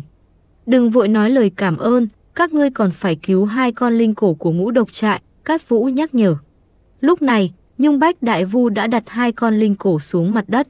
Đồ Linh có chút sợ hãi liếc nhìn Cát Vũ, sau đó đi về phía hai con linh cổ của ngũ độc trại, đoán chừng là nhỏ. Có lẽ vật nhỏ đó hoảng sợ, Đồ Linh lẩm bẩm một lúc, sau đó thiên niên hoặc mới bay ra lần nữa, bay vòng quanh một vòng hai con linh cổ nằm trên mặt đất. Giống như một con chuồn chuồn lướt nước, đậu trên người chúng một lúc, nó lại bay tới bên cạnh người đồ linh. Lúc này, cuối cùng các Vũ cũng nhìn ra, thiên niên hoặc không chỉ làm hai linh cổ bị thương nặng mà còn hạ độc lên người, vừa rồi, nó chỉ gõ nhẹ hai lần đã giúp hai con linh cổ giải cổ. Nếu khô phải thiên niên hoặc muốn nuốt chửng năng lượng cùng độc tính của năm đại linh cổ, nhất định sẽ giết chúng bằng một đòn không thương tiếc. Cho nên mới để lại cho hai con linh cổ một hơi tàn, vì vậy mới còn cơ hội cứu. Sau khi hai con linh cổ được cứu, liền lật người leo lên, thân thể cử động hai lần, bị Tống Mộc Đồng thu hồi vào trong cơ thể. Từ khi người thiên hộ miêu trại biết được thân phận của đám người cắt vũ, ánh mắt của họ đều khác lạ, tràn đầy sợ hãi, ngay cả đồ linh cũng không còn dáng vẻ kiêu ngạo nữa. Nhìn thấy Tống Mộc Đồng thu thập hai linh cổ, đại vu của thiên hộ miêu trại thận trọng nói, các vị, a chúng ta có thể đi được không? Không đợi các vũ lên tiếng, Trung Cẩm Lượng đã nói thẳng, chúng ta hiện tại không nói sẽ thả các ngươi đi. Đại vu sừng sốt một lát, sau đó nói, các vị còn dặn dò gì nữa không? Cho dù thiên hộ miêu trại có sử dụng cổ rất lợi hại, nhưng cũng chỉ có năng lực thống trị trong miêu trại, nhưng ở trước mặt các đệ tử của các môn phái như Cát Vũ thì thực sự chẳng là gì cả. Ngay cả Cát Vũ và những người khác vốn đã rất đáng sợ, chứ đừng nói là bọn họ có quan hệ tốt cửu dương hoa lý bạch và còn các tông môn đứng sau bọn họ. Dù sao đi nữa, một miêu trại nho nhỏ sao có thể đắc tội với bọn họ. Một khi chọc giận những người này, thiên hộ miêu trại sẽ trực tiếp bị tàn sát. Trung cầm lượng ho hai tiếng, quay đầu nhìn hắc tiểu sắc, sau đó nói với đại vu của thiên hộ miêu trại, hắc ca của ta chưa kết hôn và chưa có bạn gái. Hắn ta nhìn chúng thánh nữ của thiên hộ miêu trại các ngươi, các ngươi lo liệu đi. Những lời này vừa nói ra, Cát Vũ và Hắc Tiểu Sắc đều ngơ ngẩn cả người. Tại sao tiểu tử này đột nhiên lại nghĩ ra câu như vậy? Đám người ở thiên hộ miêu trại lập tức sừng sốt, đặc biệt là Đồ Linh, sắc mặt nhất thời đỏ bừng, vừa xấu hổ vừa tức giận. Cái này, không được, thánh nữ thiên hộ miêu trại không thể kết hôn, nếu không sẽ không nuôi dưỡng được linh cổ. Mong các vị dơ cao đánh khẽ, đại vu run rẩy nói. Thế nào, hắc ca của ta không xứng với thánh nữ thiên hộ miêu trại các ngươi, Trung Cẩm Lượng nhíu mắt lại. Lúc này các vũ và hắc tiểu sắc nhìn Trung Cẩm Lượng, Trung Cẩm Lượng chớp mắt hai lần, họ nhanh chóng hiểu ý đồ của Trung Cẩm Lượng, đó là gây áp lực cho thiên hộ miêu trại. Trước kia thiên hộ miêu trại dựa vào có thiên niên hoặc mà thường xuyên ức hiếp những miêu trại khác, lần này cũng cho bọn họ nếm thử cảm giác bị người khác ức hiếp. Xứng đôi, nhất định xứng đôi, nhưng thiên hộ miêu trại chúng ta chỉ là một cái tiểu trại nhỏ bé không đáng nói tới, là chúng ta không xứng với hắc gia. Nếu hắc ca thật sự thích cô gái miêu gia, có thể đích thân đi tới thiên hộ miêu trại lựa chọn. Cho dù nhìn chúng người nào, đều có thể tùy ý mang đi, chuyện này ta có thể quyết định được. Nhưng thánh nữ thì không được, đại vu cẩn thận nói. Được rồi, chúng ta đi thôi, hãy nhớ kỹ những gì ngươi đã nói trước đó. Tốt nhất đừng đặt chân lên lãnh thổ hoa hạ nữa. Nếu lần sau gặp lại chúng ta, sẽ không may mắn như ngày hôm nay, Cát Vũ xua tay. Cảm ơn, cảm ơn Vũ gia, Đại vu rối rít cảm ơn rồi đưa Đồ Linh và hơn chục người của thiên hộ miêu trại vội vàng rời đi. Đi được một đoạn, Đồ Linh quay đầu lại, ánh mắt nhìn về phía Cát Vũ, trong mắt hiện lên một cảm giác kỳ lạ khó tả. Sau khi người của thiên hộ miêu trại rời đi, Nhung Bách Đại Vu nhanh chóng đi tới, kích động nói, cảm ơn các vị hảo bằng hữu. Nếu hôm nay không có các ngươi ở đây, hôm nay ngũ độc trại của chúng ta có lẽ đã tàn rồi. Năm đại linh cổ cũng sẽ bị thiên niên hoặc nuốt chừng, đại ân đại đức này suốt đời không quên. Nhung Bách Đại Vu, xin đừng nói như vậy, lần này chúng tôi đến ngũ độc trại để nhờ các ngươi làm một việc. Chẳng qua, chúng ta chỉ tình cờ gặp phải chuyện này, chỉ là nhấc tay mà thôi, đừng để trong lòng, Cát Vũ khách khí nói. Vậy thì ta phải cảm ơn các ngươi rất nhiều. Nếu hôm nay không có các ngươi ở đây, mạng sống của ta chắc chắn sẽ không được cứu. Một khi toàn bộ năm đại linh cổ đều bị giết, ta tuyệt đối không thể sống sót. Tống Mộc Đồng cũng nhìn về phía ba người bọn họ cảm kích nói. Cát Vũ liếc nhìn Tống Mộc Đồng và quan tâm hỏi, em gái Mộc Đồng, vết thương của ngươi thế nào rồi? May mắn thay, Đồ Linh đã giải độc hai linh cổ, chữa khỏi vết thương cho bọn chúng. Nếu không, ta nhất định sẽ bệnh nặng, hiện tại ta chỉ cần nghỉ ngơi một lát là được, Tống Mộc Đồng nói. Vậy, ngươi còn có thể cùng chúng ta cùng nhau quay về Hồng Diệp Cốc được không? Hắc Tiểu Sắc lo lắng hỏi. Không có chậm trễ, chúng ta có thể vừa đi vừa nghỉ ngơi trên đường. Đúng lúc có thể đến hiệu thuốc Bắc Tiết Gia để dưỡng thương. Ta nghe nói ở hiệu thuốc Tiết Gia đều là thần y, với tình hình của ta hẳn là không khó chữa trị, Tống Mộc Đồng nói. Chắc chắn không khó khăn gì đâu, ngươi yên tâm đi, Cát Vũ mỉm cười nói. Đúng rồi, em gái Mộc Đồng, hai linh cổ của ngươi đã bị tổn thương nặng nề, còn có thể sản xuất ra ngũ độc kim phấn không? Hắc Tiểu Sắc hỏi vấn đề mấu chốt nhất.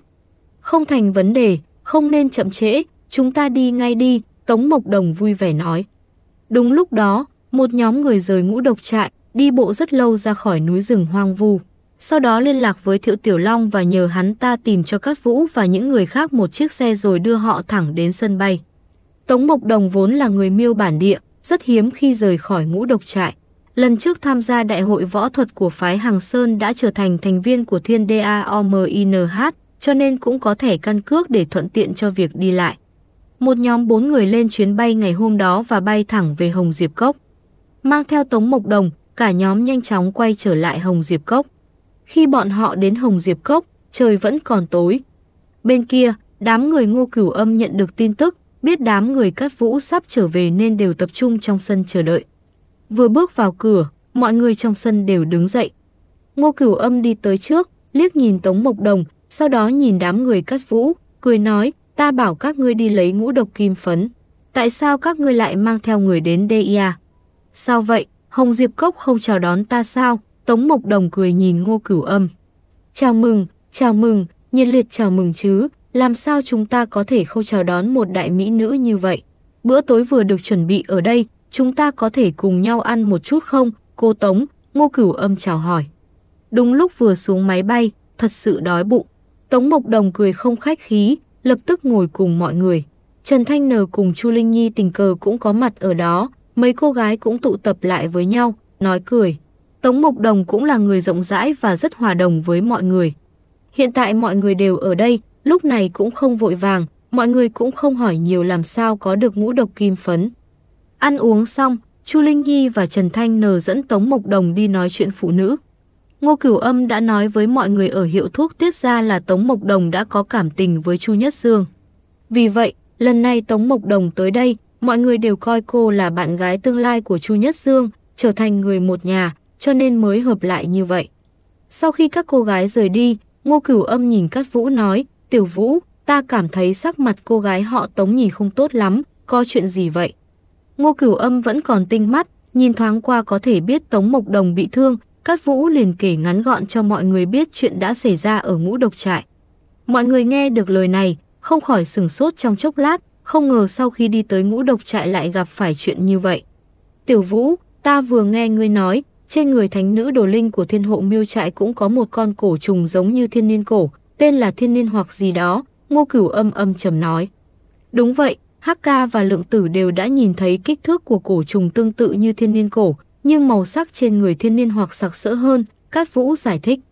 Ta thật sự chưa từng nghe nói tới chuyện có thiên niên hoặc, nhưng ta nghe cao tổ ra nói, lúc trước, nhị tổ sư gia của Mao Sơn Tông tu hành ở phía nam Tân Cương. Vì để trường sinh bất tử, ông ta đã dùng cổ trùng để đúc lại pháp thân của mình, tự ngâm mình trong ao đầy cổ trùng. Vì vậy đã luyện hóa ra một thứ giống như thiên niên cổ, ban đầu nó được trao cho Chu Minh, tổ tiên của Chu Nhất Dương. Có lẽ ông ta cũng đã luyện hóa ra một cổ trùng nữa tên là thiên niên hoặc. Hai con này chắc chắn là một đực một cái, ngô cửu âm phân tích. Những cổ trùng này còn chia thành đực và cái, thiên niên cổ là đực hay cái, hắc tiểu sắc nhị không được hỏi. Nhất định là đực, ngươi không thấy cái vật nhỏ đó nhìn giải cổ trùng trên người tiểu vũ giống hệt như hắc ca sao, trung cẩm lượng cười nói. Lượng tử, nhị đại gia ngươi, đang nói chuyện giải cổ trùng, vì sao lại liên lụy đến ta? Hắc tiểu sắc tức giận chừng mắt nhìn trung cẩm lượng. Một vài người trò chuyện một lúc về chuyện thiên niên hoặc, không lâu sau, Tống Mộc Đồng cũng đi theo Trần Thanh Nờ và Chu Linh Nhi trở về. Ta ăn no rồi, đi dạo hiệu thu OTS ra một vòng, nơi này thật sự rất đẹp, chúng ta đi thôi, đi chữa bệnh cho Chu đại ca. Đôi mắt của Tống Mộc Đồng đang cười đẹp như ánh trăng non. Em gái, nếu thích nơi này thì cứ ở lại nghỉ ngơi một thời gian đi, Hắc Tiểu Sắc cười nói. Ta nhất định sẽ ở lại một thời gian, hai con linh cổ trên người ta đều bị người thiên hộ miêu trại đánh bị thương. Thân thể của ta cũng bị thương nặng, còn cần hai lão gia tử tiết ra giúp ta xem xét, Tống Mộc Đồng nói. Tiếp theo, Cát Vũ và những người khác trực tiếp đưa Tống Mộc Đồng đến pháp trận của hai lão gia tử tiết ra. Lần này, không phải tất cả mọi người đều tập trung tại hiệu thuốc tiết ra, Lý Bán Tiên đang ở ngũ Thái Sơn tu bổ Sơn Môn đại trận. Hoa Hòa Thượng có nhiều việc tiếp theo phải giải quyết ở ngũ Thái Sơn, Chu Nhất Dương vẫn đang bị thương nặng nằm một chỗ. Ở đây chỉ có Ngô Cửu Âm và Bạch Triển. Lần này là Cát Vũ và Ngô Cửu Âm đưa Tống Mộc Đồng tới. Chẳng bao lâu, họ đã bước vào bên trong pháp trận của hai lão gia tử tiết ra. Hai lão gia tử không có ở trong sân, sau khi vào nhà, Tống Mộc Đồng nhanh chóng nhìn thấy một bức chân dung treo ở giữa nhà. Bước chân dung là một chàng trai trẻ với một con khỉ lông vàng đang ngồi xổm trên vai. Tống Mộc Đồng nhìn thấy bước chân dung, sừng sốt một chút, quay đầu nhìn Ngô Cửu Âm, trên mặt lộ ra vẻ nghi hoặc nói, "Tiểu Cửu ca, sao chân dung của ngươi lại treo ở đây, sao ta không thấy con khỉ lông vàng kia?" Ngươi hiểu lầm rồi, đây không phải là ta, mà là tổ tiên của ta. Lúc trước tổ tiên của ta có ân với Tiết gia, từng cứu hai lão gia tử Tiết gia. Vì vậy họ đã lưu giữ những bức chân dung của tổ tiên ta, Ngô Cửu Âm giải thích. Nói xong, ba người đi đến một căn phòng ở sân sau, nhìn thấy hai lão gia tử Tiết gia đang vây quanh bên một chiếc giường. Trên giường có một người đàn ông nằm, nửa thân trên phủ đầy kim bạc, nhìn giống như một con nhím. Tống Mộc Đồng nhìn thấy Chu Dương bộ dáng như vậy, liền xấu hổ đỏ mặt, cúi đầu. Hai lão gia tử, chúng ta đã mời Tống Tiểu Thư, thánh nữ của ngũ độc trại. Trên người cô có ngũ độc kim phấn mà ngài cần, ngô cửu âm chắp tay nói. Hai lão gia tử dừng lại, quay lại nhìn Tống Mộc Đồng. Tống Mộc Đồng vội vàng hành lễ, Tống Mộc Đồng của ngũ độc trại gặp qua hai vị lão thần tiên. Cô gái này rất đẹp, nhưng nhìn qua trên người có vẻ bị thương, sắc mặt tái nhợt, chắc chắn đã bị phản phệ dữ dội phải không? Tiết Càn Khôn nói. Tống Mộc Đồng sừng sốt, không ngờ hai lão gia tử này lại có tinh lực như vậy, chỉ liếc mắt nhìn cũng biết cô bị thương, thậm chí còn nói bị thương như thế nào. Hai vị lão thần tiên quá lợi hại, trước khi đến Hồng Diệp Cốc, ta đã đấu cổ, quả thực là bị phản phệ dữ dội, còn có hai linh cổ bị thương nặng, Tống Mộc Đồng chắp tay nói. Được rồi, chuyện trên người ngươi là chuyện nhỏ, chờ chúng xong việc sẽ giúp ngươi xem một chút là được, hiện tại cần ngươi lấy ngũ độc kim phấn ra để sử dụng, Tiết Huyền hồ nói. Được, Tống Mộc Đồng nói, nhìn về phía Cát Vũ ở bên cạnh, nói, VUK, có thể tìm cho ta một chậu rửa mặt được không? Cát Vũ đáp lại, tìm kiếm khắp phòng, mang đến một chậu rửa mặt đưa cho Tống Mộc Đồng. Sau khi Tống Mộc Đồng cầm lấy, cô đặt nó xuống đất, sau đó vung tay lên, cả ngũ độc linh cổ đều xuất hiện trong chậu rửa mặt. Sau đó, Tống Mộc Đồng lấy ra một mảnh vải trắng, che ngũ độc trong chậu rửa mặt mặt. Tiểu cửu ca, một giọng nói yếu ớt truyền đến, ngô cửu âm quay đầu nhìn lại, phát hiện Chu Nhất Dương đã tỉnh. Bên này, Tống Mộc Đồng đang định lấy bột ngũ độc màu vàng thì Chu Nhất Dương đột nhiên tỉnh dậy và gọi ngô cửu âm. Ngô cửu âm vội vàng nhìn về phía Chu Nhất Dương, lúc này toàn thân Chu Nhất Dương đâm đầy châm bạc, bộ dáng cực kỳ suy yếu, sắc mặt tái y, môi cũng tái nhợt. Nhất Dương, ngươi tỉnh rồi, Ngô Cửu Âm mỉm cười đi về phía Chu Nhất Dương. Ta, ngủ bao lâu vậy? Chu Nhất Dương hỏi. Chỉ hai ba ngày thôi, Ngô Cửu Âm cười nói. Ta, Ta vốn tưởng rằng lần này ta nhất định sẽ không thể thể sống sót, nhưng không ngờ rằng mình vẫn có thể sống sót, Chu Nhất Dương cười yếu ớt nói. Tiểu tử nhà ngươi làm sao có thể dễ dàng chết như vậy? Lão Chu nhà ngươi còn chưa có con cháu, ngươi phải lấy vợ sinh con chứ. Nhưng có một điều, ta muốn nhắc nhở ngươi, lần sau tiểu tử ngươi muốn làm chuyện lớn như thế này phải nói cho chúng ta biết trước để chúng ta còn chuẩn bị tâm lý. Ngươi khá lắm, chúng ta còn chưa biết rõ tình hình như nào, ngươi đã sử dụng bách lôi đại trận khiến chúng ta bị dọa sợ. Lần này làm tốt lắm, nhưng lần sau ngươi không thể làm như vậy được, ngô cửu âm cười nói. Hai con ma vật kia bị đuổi đi như thế nào, Chu Nhất Dương đột nhiên hỏi chuyện này. Tiểu tử ngươi bị thương nặng, nếu không phải đưa đến Hồng Diệp Cốc thì ngươi đã chết rồi. Hiện tại chúng ta đặc biệt mời Tống cô nương từ ngũ độc trại đến lại trị đan điển khí hải cho ngươi. Còn chuyện liên quan đến ma vật nói ra rất dài dòng, đợi vết thương của ngươi lành lại thì chúng ta sẽ nói. Hay là ngươi ngủ tiếp đi nhé, ngô cửu âm lại nói. Ánh mắt Chu Nhất Dương xuyên qua đám người, nhanh chóng nhìn thấy Tống Mộc Đồng cách đó không xa. Tống Mộc Đồng vốn luôn vô tư, bị Chu Nhất Dương liếc nhìn có chút xấu hổ, sắc mặt hơi đỏ lên. Lúc này, Tống Mộc Đồng tiến về phía trước hai bước, chắp tay với Chu Nhất Dương, khách sáo nói, Tống Mộc Đồng của ngũ độc trại rất vui được gặp Tống Đại ca. Chu Nhất Dương nhìn Tống Mộc Đồng, hai mắt không khỏi sáng lên, hình như y đã từng nhìn thấy cô gái này, nhưng lại không nhìn kỹ, bây giờ nhìn kỹ mới biết cô ấy thực sự rất xinh đẹp. Tống, Tống cô nương, ta bị thương không thể hành lễ, đắc tội, Chu Nhất Dương khó khăn nói. Chu đại ca, ngươi không cần cử động, ta không sao, ngươi có thể bình phục là tốt rồi, Tống Mộc Đồng vội vàng nói. Tuy nhiên, sau khi Chu Nhất Dương tỉnh lại, y nói được vài câu rồi lại ngất. Tiết huyền hổ đi tới, nhìn thoáng qua rồi nói, vết thương của tiểu tử này quá nặng, đầu óc còn chưa tỉnh táo, chắc phải rất lâu nữa hắn mới có thể cử động bình thường. Nha đầu, nhanh đi lấy bột ngũ độc màu vàng đi. Tống Mộc Đồng đáp lại một tiếng, đi đến chỗ chậu rửa mặt, khô han chân ngồi xuống, hai tay bấm niệm pháp quyết, trong miệng lẩm bẩm điều gì đó. Trong bồn rửa mặt vang lên tiếng động lạ, như thể có thứ gì đó đang bỏ. Lúc này, thiên niên cổ bay ra khỏi cơ thể Chu Nhất Dương rồi bay về phía Tống Mộc Đồng. Thiên niên cổ này có tâm lý phản kháng rất lớn đối với tất cả các cổ sư, và đương nhiên Tống Mộc Đồng cũng không ngoại lệ. Thiên niên cổ vừa xuất hiện, nhìn như sắp đánh nhau, may mà Cát Vũ và Ngô Cửu Âm đã ngăn cản được thiên niên cổ. Khi cổ ngàn tuổi chuẩn bị bay đến bên cạnh Tống Mộc Đồng thì bị Ngô Cửu Âm bắt lấy trong tay. Con côn trùng này dãy dụa trong tay Ngô Cửu Âm, kêu rầm gì, điệu bộ rất không phục. Con trùng béo này, người này tới cứu sư tính mạng của chủ nhân ngươi, nếu ngươi còn hành động lỗ mãng, ta sẽ mang ngươi đi chiên dầu, Ngô Cửu Âm tức giận uy hiếp. Con trùng béo kêu rầm gì, như đang chửi rủa, nhưng không có động thái gì tiếp theo, chỉ ngoan ngoãn nằm trong tay Ngô Cửu Âm. Một lúc sau, Tống Mộc Đồng đột nhiên mở mắt, nhấc tấm vải trắng trên chậu rửa lên, sau đó vẫy tay, ngũ đại linh cổ lập tức biến mất. Sau đó lấy ra một quả cầu vàng có kích thước bằng một viên bi từ trong chậu rửa và đưa nó cho hai vị lão gia của tiết gia. Cát Vũ có thể nhìn thấy rõ ràng đó là một quả cầu vàng, làm sao ngũ đại linh cổ lại có thể trông như thế này? Bọn chúng là bài tiết cùng nhau sao? Mặc dù Cát Vũ không hiểu, nhưng hắn cũng không hỏi thêm. Tiết huyền hổ cầm lấy quả cầu vàng, đặt dưới mũi, người thử rồi cười nói, đúng rồi, quả nhiên là bột ngũ độc màu vàng, cảm ơn ngươi rất nhiều. Hai lão thần tiên khách sáo quá, Tống Mộc Đồng chắp tay nói. Được rồi, các ngươi có thể rời đi, hai huynh đệ chúng ta muốn tu bổ đan điền khí hải cho hắn, hai ngày nữa các ngươi có thể tới đây, đến lúc đó người cũng gần như tỉnh táo rồi, Tiết Huyền Hổ nói.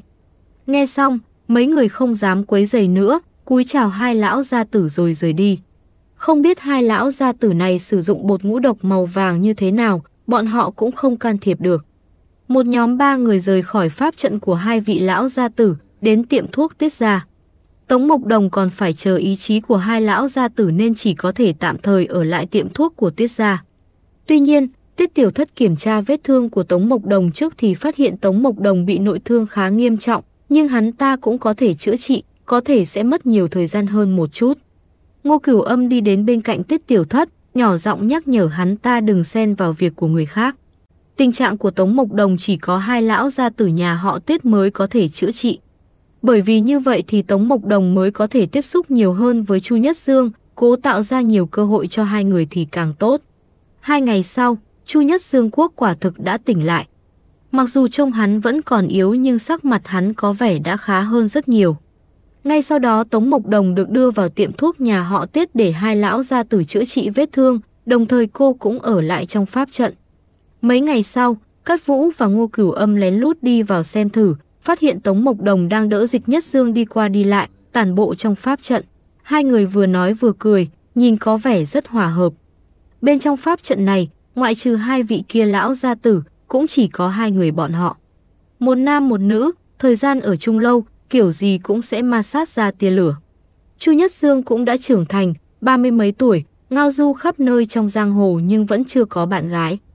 Mấu chốt là Chu Nhất Dương là một người đàn ông cao giáo, giàu có và đẹp trai đạt tiêu chuẩn. Sản nghiệp trong nhà đứng đầu ở đảo Bảo hơn nữa y còn có địa vị siêu việt ở trong giang hồ hoa hạ. Thuật dẫn lôi của y khiến vô số người nghe thấy đã khiếp sợ. Từ xưa đến nay mỹ nữ yêu anh hùng, đàn ông có phẩm chất tốt như y chắc chắn sẽ gặp được người phụ nữ mình thích. Kỳ thực Chu Nhất Dương đã gặp rất nhiều cô gái, hơn 10 năm trước, có một cô gái xinh đẹp ở miêu trại thích y, nhưng Chu Nhất Dương lại không thích cô ta. Nhưng lần này sự xuất hiện của Tống Mộc Đồng có vẻ khiến Chu Nhất Dương rất hài lòng. Tìm thời gian rảnh rỗi, Ngô Cửu Âm vụng trộm gặp Chu Nhất Dương hỏi xem y có tâm tư gì với Tống Mộc Đồng không. Lời này khiến Chu Nhất Dương đỏ mặt. Chu Nhất Dương mặc dù là một lão làng trong giang hồ, là cao phú soái nổi tiếng ở đảo Bảo, mấy năm nay y chạy đông chạy tây trên giang hồ. Bận rộn với công việc kinh doanh của gia đình, nhưng lại chưa từng có một mối quan hệ nghiêm túc nào. Phương diện tình cảm đương nhiên không phong phú bằng Ngô Cửu Âm. Khi Ngô Cửu Âm hỏi câu hỏi này, y đột nhiên cảm thấy bối rối không biết làm sao. Ngô Cửu Âm dẫn dắt từng bước nói, Chu Nhất Dương, hiện tại ngươi cũng đã trưởng thành rồi, nên nghĩ đến chuyện tình cảm. Ngươi nhìn ta xem, con trai lớn của ta sắp học cấp 3 rồi, mấy tháng nữa con trai thứ hai của ta sẽ chào đời. Ngươi ngay cả bạn gái cũng không có, thế này có phải vô lý hay không? Cho dù ngươi không vội, nhưng cha ngươi có lẽ cũng nóng lòng muốn ôm cháu rồi. Ngay cả đứa bé của Linh Nhi cũng sắp đi mua nước tương rồi. Ta thấy tống mộc đồng của ngũ độc trại khá tốt, cô ấy xinh đẹp, tu vi cũng không tệ, mấu chốt là ngươi có thể áp chế được cô ấy. Thiên điên cổ của ngươi cũng lợi hại hơn năm con linh cổ của cô ấy. Chu Nhất Dương ngượng ngùng cười nói, cho dù ta yêu cô ấy, nhưng cô ấy chưa chắc sẽ yêu ta. Huống chi cô ấy còn là thánh nữ của ngũ độc trại, không thể kết hôn, chuyện này cũng không dễ dàng. Nói như vậy, ngươi thích Tống Mộc Đồng, Ngô Cửu Âm vui mừng trong lòng. Mặt Chu Nhất Dương càng đỏ hơn, nhẹ giọng nói, ở chung với nhau nhiều ngày như vậy, cảm giác cũng không tệ lắm. Ta nói này huynh đệ, trong chuyện này ngươi phải mạnh dạn chủ động hơn, không thể để phụ nữ chủ động được phải không? Với điều kiện của ngươi, cái tốt thì không nói nữa, chưa kể đến thân phận doanh nhân giàu có nhất đảo bảo, ngươi còn địa vị giang hồ ở Hoa Hạ, còn có thuật dẫn lôi kia nữa. Cô gái nào nhìn thấy chẳng yêu ngươi chứ, nếu ta là phụ nữ, ta chắc chắn sẽ bám lấy ngươi không thả, ngô cửu âm lại nói. Nghe vậy, Chu Nhất Dương không khỏi bật cười, tiểu cửu ca, ngươi nói quá rồi. Nếu ngươi là phụ nữ, chưa chắc ta đã thích ngươi đâu. Ta nói như vậy, ngươi không cần lo lắng về thân phận của Tống Mộc Đồng, thánh nữ của ngũ độc trại thì thế nào. Cùng lắm thì chúng ta không cho cô ấy về ngũ độc trại, để ngũ độc trại chọn một thánh nữ khác là được. Chuyện thành là do người, chỉ cần ngươi thích, mọi người nhất định sẽ giúp ngươi, ngô cửu âm lại khuyên nhủ. Nói như vậy, Chu Nhất Dương thật sự cũng động lòng. Y còn nói chuyện này không nên nóng vội, Y dự định ở chung với Tống Mộ Đồng một thời gian rồi nói sau. Thời gian trôi qua, sức khỏe của Chu Nhất Dương ngày một tốt hơn. Vết thương do phản phệ của Tống Mộc Đồng và hai con linh cổ bị thương cũng đã được hai lão gia tử của Tiết gia chữa khỏi. Nhưng Tống Mộc Đồng cũng không vội rời đi, mỗi ngày cô đều ở cùng Chu Nhất Dương ở trong pháp trận của hai lão gia tử, dường như hai người có vô số chuyện để nói. Trong nháy mắt hơn nửa tháng trôi qua, vết thương trên người Chu Nhất Dương gần như đã lành được một nửa. Các gân và tĩnh mạch bị đứt đã được nối lại, đan điền khí hải đã được tu bổ. Hơn nữa, đan điền khí hải được tu bổ còn mạnh mẽ hơn trước và có thể tích trữ nhiều linh lực hơn. Ngô Cửu Âm cũng được tu bổ đan điền khí hải. Tích trữ nhiều linh lực hơn chứng tỏ khí tức dài hơn. Khi chiến đấu với người khác, linh lực có thể lưu chuyển liên tục, luôn duy trì ở trạng thái cường thịnh nhất. Nhưng nếu Chu Nhất Dương muốn sử dụng bách lôi đại trận lần nữa, chắc chắn là không thể. Ít nhất trong vòng một năm, y sẽ không thể sử dụng được chiêu thức mạnh như vậy nữa. Suy cho cùng, tu bổ đan điền khí hải phải mất một thời gian mới ổn định được. Vết thương của Tống Mộc Đồng đã được chữa lành. Cô ấy cảm thấy ở tiệm thuốc nhà họ tiết mãi như vậy cũng không hay.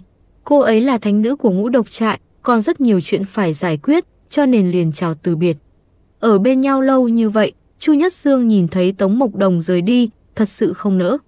Nhìn thấy bộ dạng của y, Trần Thanh Nờ là người từng trải cho nên hiểu rõ, vì vậy cô nhất quyết giữ Tống Mộc Đồng ở lại thêm vài ngày nữa giúp Chu Nhất Dương. Không thể từ chối, Tống Mộc Đồng chỉ có thể đồng ý, thực cô cũng không muốn rời đi. Bên này, Cát Vũ cũng ở lại tiệm thuốc nhà họ Tiết một thời gian dài, dự định sáng sớm ngày mai sẽ đến Cát Gia Thôn, đã lâu rồi hắn không gặp chú nhỏ. Tuy nhiên, Cát Vũ chưa đi thì chú nhỏ của hắn đã gọi điện cho anh, điều này khiến Cát Vũ rất ngạc nhiên. Hắn vừa định đi thăm Cát Gia Thôn thăm chú nhỏ thì chú nhỏ đã gọi điện cho hắn, đây chẳng phải là thần giao cách cảm trong truyền thuyết sao. Alo, chú à, Cát Vũ trả lời điện thoại. Sau đó giọng nói lo lắng của chú ta từ bên kia truyền đến, Tiểu Vũ, xảy ra chuyện rồi, không thấy Trúc Tử đâu. Nghe vậy, Cát Vũ lập tức hoang mang, không thể tin được nói, tình huống thế nào, đang yên lành tại sao lại không thấy người. Không chỉ không thấy Trúc Tử, mà cả Nakajima, cao thủ ta đưa từ Nhật Bản về cũng không thấy đâu. Hàng ngày hắn phụ trách đón Trúc Tử tan học về. Bình thường đều về nhà lúc 6 giờ, nhưng hôm nay hắn vẫn chưa về. Ta gọi điện cho Trúc Tử và Nakajima nhưng không có ai nghe máy, điện thoại di động đã tắt, xe cũng mất tích, các thiên minh hoảng sợ nói. Chú đừng lo lắng, có thể Trúc Tử đã đến nhà bạn cùng lớp, hoặc là ở trường có hoạt động gì đó nên Trúc Tử ở lại trường, chưa chắc là mất tích, Cát Vũ trấn an. Tiểu Vũ, ta đã nghĩ đến tất cả những tình huống có thể xảy ra rồi. Ta đã hỏi nhà trường, họ nói rằng vừa tan học nó đã được đón về, không ở lại trường, chắc chắn là bị bắt cóc rồi, Cát Thiên Minh buồn bực nói. Chú nhỏ, chú đừng lo lắng, chú cần phải tìm người trước. Cháu sẽ đưa người đến đó ngay, Cát Vũ trầm giọng nói. Tiểu Vũ, ta chỉ có một đứa con là Trúc Tử, nó sẽ không xảy ra chuyện gì chứ. Trúc Tử có tu vi, người bình thường không thể ra tay với nó được. Ta nghĩ chuyện này chắc chắn không đơn giản, chú nhỏ lo lắng nói. Chú à, đợi cháu đến rồi nói sau, cháu sẽ tới ngay, Cát Vũ nói xong rồi cúp điện thoại. Đám người hắc tiểu sắc đứng bên cạnh thấy sắc mặt Cát Vũ không tốt, liền đi tới hỏi thăm có chuyện gì xảy ra. Cháu gái lớn của ta Trúc Tử mất tích rồi. Chú nhỏ vừa gọi báo cho ta biết, Cát Vũ hít một hơi thật sâu và nói. Là cô nhóc xinh đẹp linh lợi đến từ Nhật Bản sao? Hắc tiểu sắc nói. Ừm, các ngươi đều đã nhìn thấy, Cát Vũ nói. Chú nhỏ chắc chắn đang rất lo lắng, chúng ta mau qua đó xem tình hình thế nào, Trung Cẩm Lượng vội vàng nói. Đi thôi, cùng nhau đi xem thử, Ngô Cửu Âm cũng nghe được lời nói của Cát Vũ liền đứng lên nói. Ta cảm thấy không cần đi nhiều người đâu, người nhiều dễ bị kẻ khác biết. Ta đi với Lượng Tử và Hắc Ca là được rồi. Nếu thật sự không thể xử lý được thì ta sẽ gọi các ngươi tới, Cát Vũ nhìn Ngô Cửu Âm. Cũng được, nơi này cách Cát Gia Thôn không xa, nếu đi đường sắt cao tốc chỉ mất 2-3 tiếng thôi, Ngô Cửu Âm gật đầu. Nói xong, Ngô Cửu Âm lấy từ trong người ra một tấm phù đưa cho Cát Vũ, ngươi cầm lấy cái này. Noda, lúc nào lái thuyền, chúng ta muốn đi ngay bây giờ, quỷ hoàn tử thúc giục nói. Đừng có gấp, chúng ta phải đúng giờ mới có thể lái thuyền, để tránh né cảnh sát biển. Ngươi yên tâm, chúng ta nhất định đưa bọn ngươi an toàn ra ngoài. Nặng, vô phương cứu chữa, vì vậy cha ta đã cho ta đóng bi gang ở dây, hơn một ngàn năm sau ta sẽ tỉnh lại, hiện tại ta đã tỉnh lại, xin hãy thả ta ra đi, nữ nhân kia đáng thương nói. Hắc tiểu sắc nghe cô ta nói như thế, trong lòng vẫn tràn đầy nghi hoặc. Không đúng, bị bệnh nặng, bị đóng băng ở đây ngàn năm, có thể sống lại ư. Thật vô lý.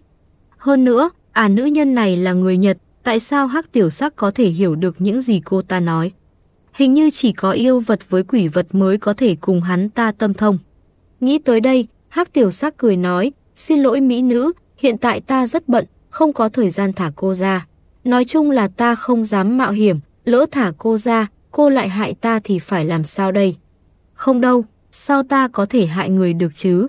Ngươi cứu ta rồi sẽ trở thành ân nhân cứu mạng của ta, nữ nhân kia lại nói.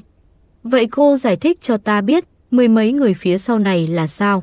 Chẳng lẽ không phải là cô đã đóng băn họ sao? Hắc tiểu sắc nói. Không phải ta làm hại, ở đây có một khối hàn băng phách, là một pháp khí vô cùng cường đại, sở dĩ ta bị đóng băng ở đây chính là do hàn băng phách kia.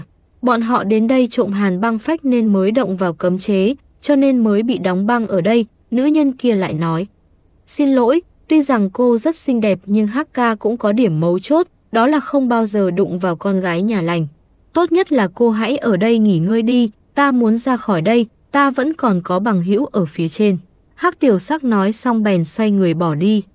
Nữ nhân vội nói, chờ đã, ở đây có một lối ra bí mật, chỉ có ta biết, ngươi nhất định sẽ không tìm được.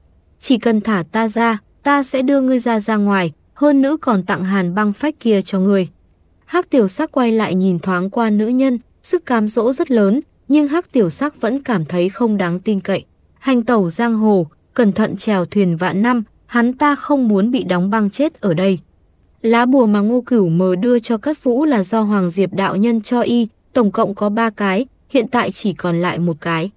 Ngươi cầm lấy đi, nếu thật sự không thể xử lý được, mà chúng ta cũng không thể đến kịp, ngươi có thể dùng lá bùa này cầu xin Hoàng Diệp đạo nhân giúp đỡ, ta nghĩ nhất định ông ấy sẽ không từ chối. Tiểu cửu ca, đây là lá bùa duy nhất, ngươi hãy giữ lại mà dùng, có lẽ chút chuyện nhỏ này ta không cần đâu, Cát Vũ nói. Chính vì vậy nên ngươi mới phải lấy, để đề phòng. Ngô Cửu mờ phân trần rồi đặt lá bùa vào trong tay Cát Vũ. Chuyện này không thể chậm trễ, chú của Cát Vũ rất sốt ruột nên hắn đã đưa Trung Cẩm Lượng và Hắc Tiểu Sắc đến thẳng nhà ga đường sắt cao tốc. Trên đường Trung Cẩm Lượng đã mua 3 vé tàu cao tốc và đi thẳng đến các gia thôn ở phía Bắc Giang Tô. Vài giờ sau, khoảng 10 giờ tối, ba người đã đến các gia thôn. Khi đến cổng thôn, Cát Vũ nhìn thấy chú đang chắp tay sau lưng, đi qua đi lại, trong tay còn cầm một điếu thuốc lá. Ông vừa nhìn thấy nhóm Cát Vũ đến thì nhanh chóng bước tới, Cát Vũ liếc nhìn chú mình và thấy rằng chú đã hốc hác hơn nhiều, tóc đã có thêm vài sợi bạc trắng. Chú, mấy người Cát Vũ chào Cát Thiên Minh. Chú, có tin tức gì về Trúc Tử không? Cát Vũ đi tới hỏi. Đi thôi, chúng ta về nhà hãy nói. Cát Thiên Minh vỗ vỗ vai Cát Vũ, hai người trở về nhà, đi vào đại sảnh.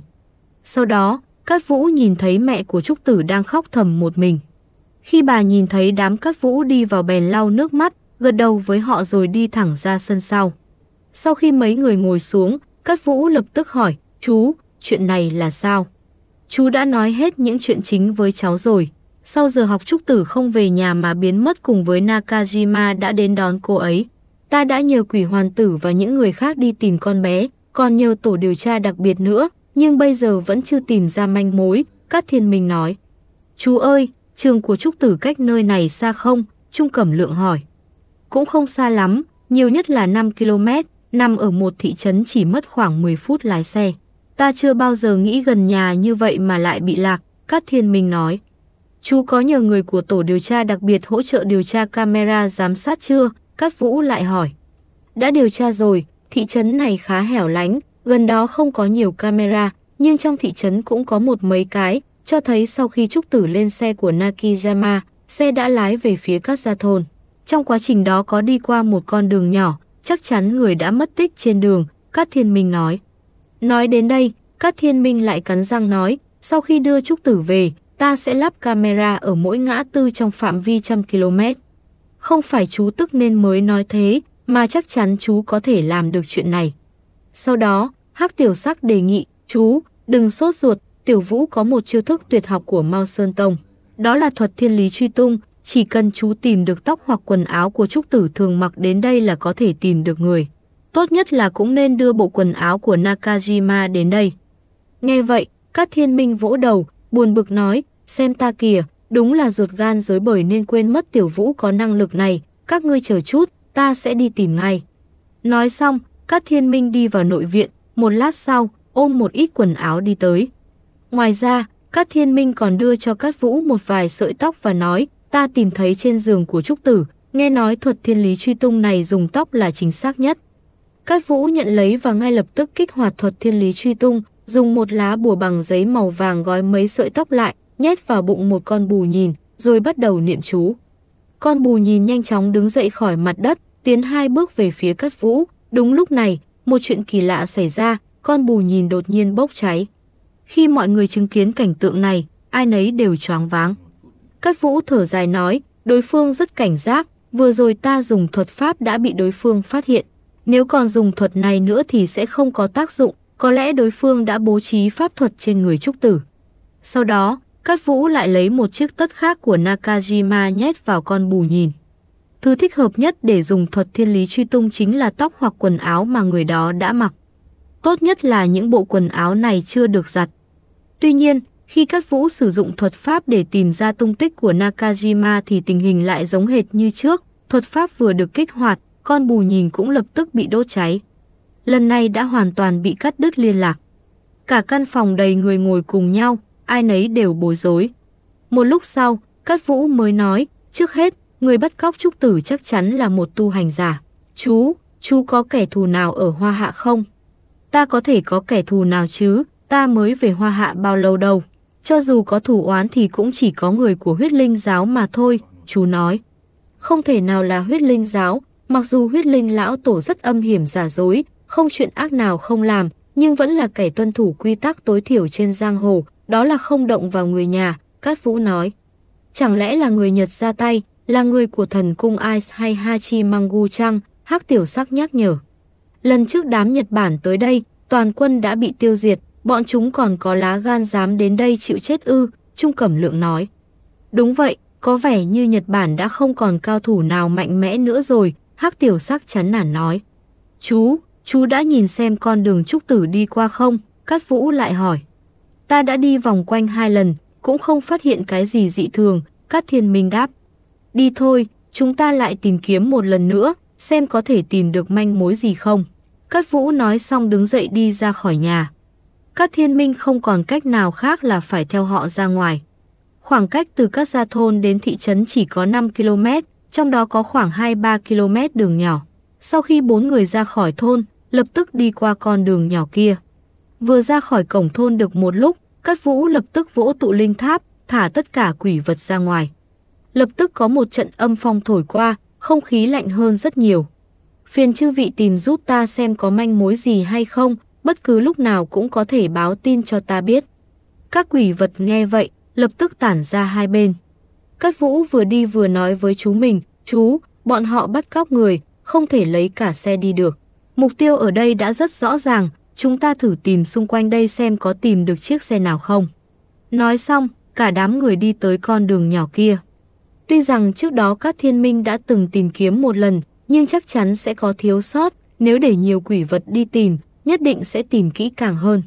Lập tức, trên con đường trôi nổi mấy chục bóng ma, đám người cắt vũ cũng không nhàn rỗi, vừa đi vừa tìm kiếm. Họ đi chậm rãi trên con đường này chừng 5-6 phút, một lão quỷ đột nhiên cầm thứ gì đó trong tay đi tới, đưa cho Cát Vũ nói, Tiểu Vũ, ngươi cảm thấy thứ này có ích không?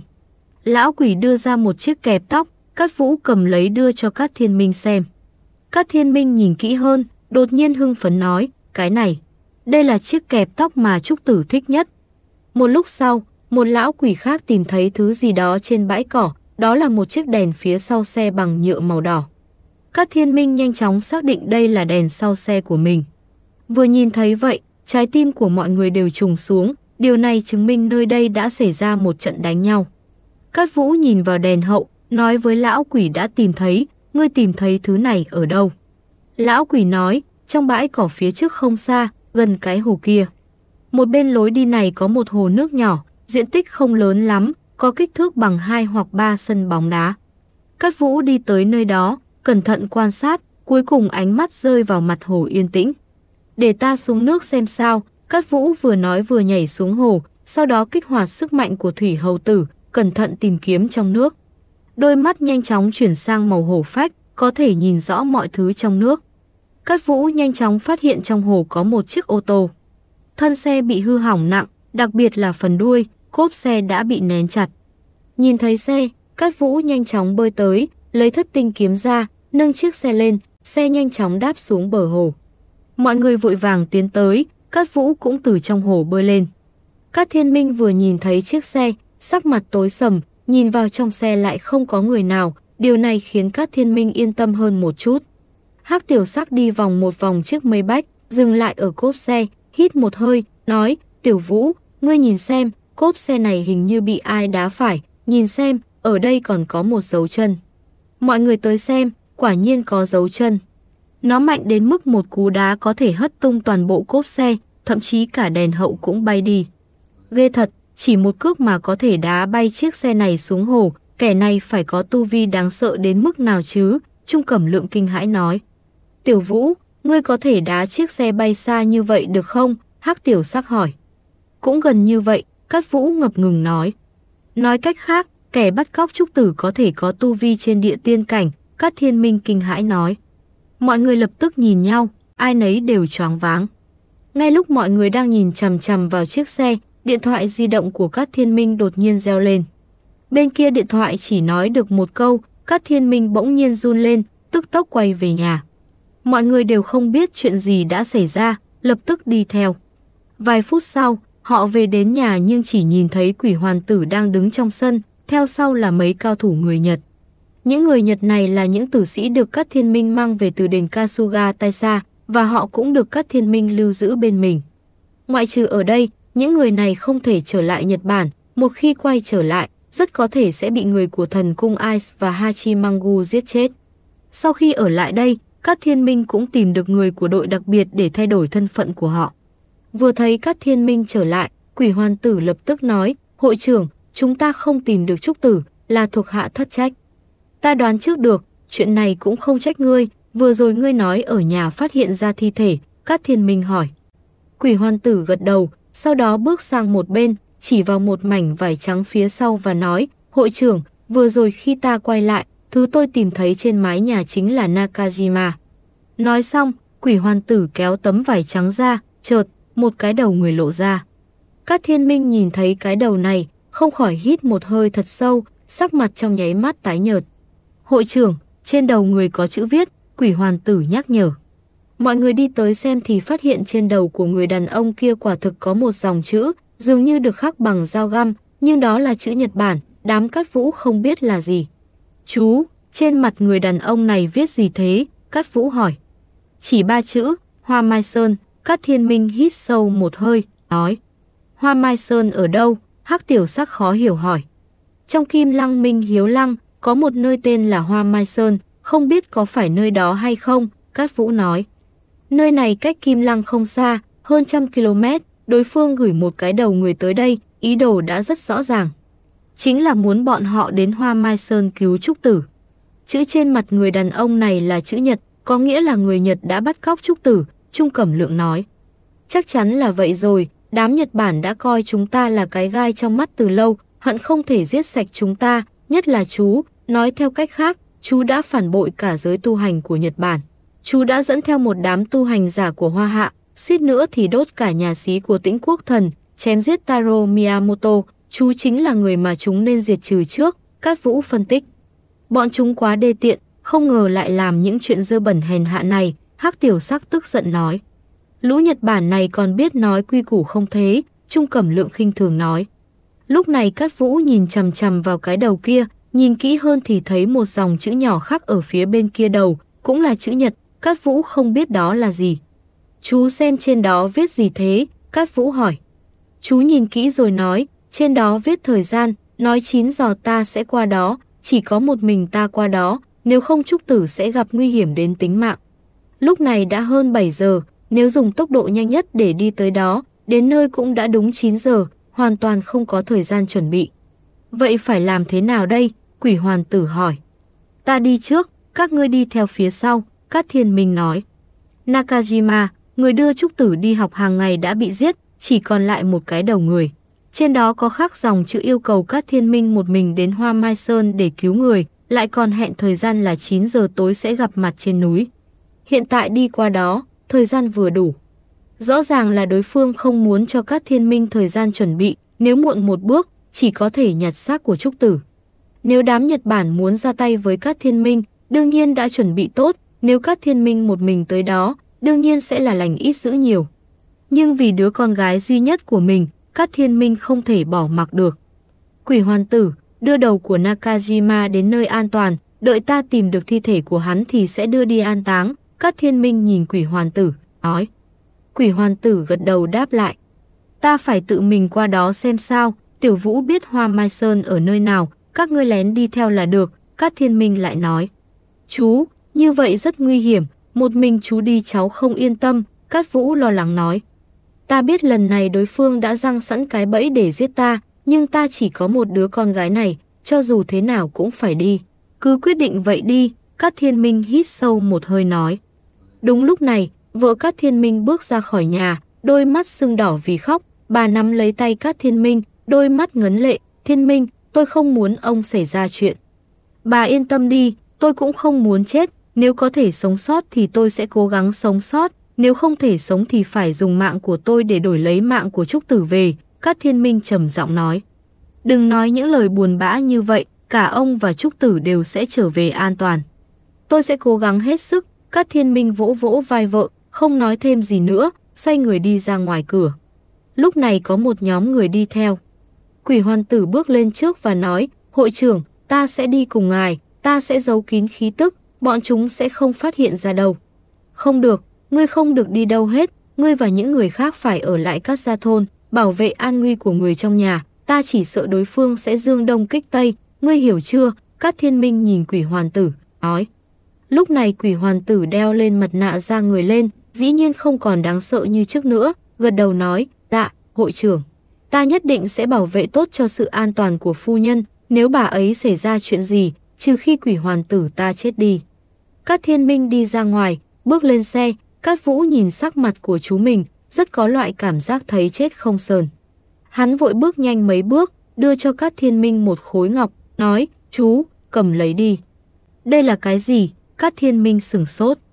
Đây là một loại vũ khí âm, bên trong có yêu ma phượng di, vào thời khắc mấu chốt, nó có thể giúp chú. Hơn nữa thông qua phượng di, cháu cũng sẽ xác định được vị trí của chú dễ dàng hơn, Cát Vũ nói. Sau đó, Cát Vũ lại đặt giải cổ trùng trên người lên người Cát Thiên Minh. Đến lúc đó, Cát Vũ có thể quan sát động tĩnh xung quanh Cát Thiên Minh thông qua giải cổ trùng. Cát Thiên Minh nghe vậy thì gật đầu, để viên ngọc thạch vào trong người. Sau đó, Cát Thiên Minh khởi động xe và đi thẳng về phía Hoa Mai Sơn ở thành Kim Lăng. Chú vừa rời đi, nhóm Cát Vũ cũng lên một chiếc xe khác, cách chú một khoảng, đi theo từ xa. Kim Lăng cách Mao Sơn Tông cũng không xa, mặc dù Cát Vũ ở Mao Sơn Tông chưa lâu, nhưng hắn vẫn biết khá rõ hoàn cảnh xung quanh. Sau khi chú lên xe, xe chạy như bay, lao như tia chớp. Đã hơn một giờ trôi qua, vẫn còn 10 phút nữa mới đến giờ hẹn, chú đã đến gần Hoa Mai Sơn. Thật ra, đây là một điểm thu hút khách du lịch, nhưng giờ đã muộn, không còn ai ở trên núi nữa. Sau khi chú dừng xe, thân hình lên xuống vài lần đã bay qua tường viện bên ngoài, đi thẳng đến Hoa Mai Sơn. Khi chú vừa dừng xe không lâu, đám người cát vũ cũng đã tới gần Hoa Mai Sơn.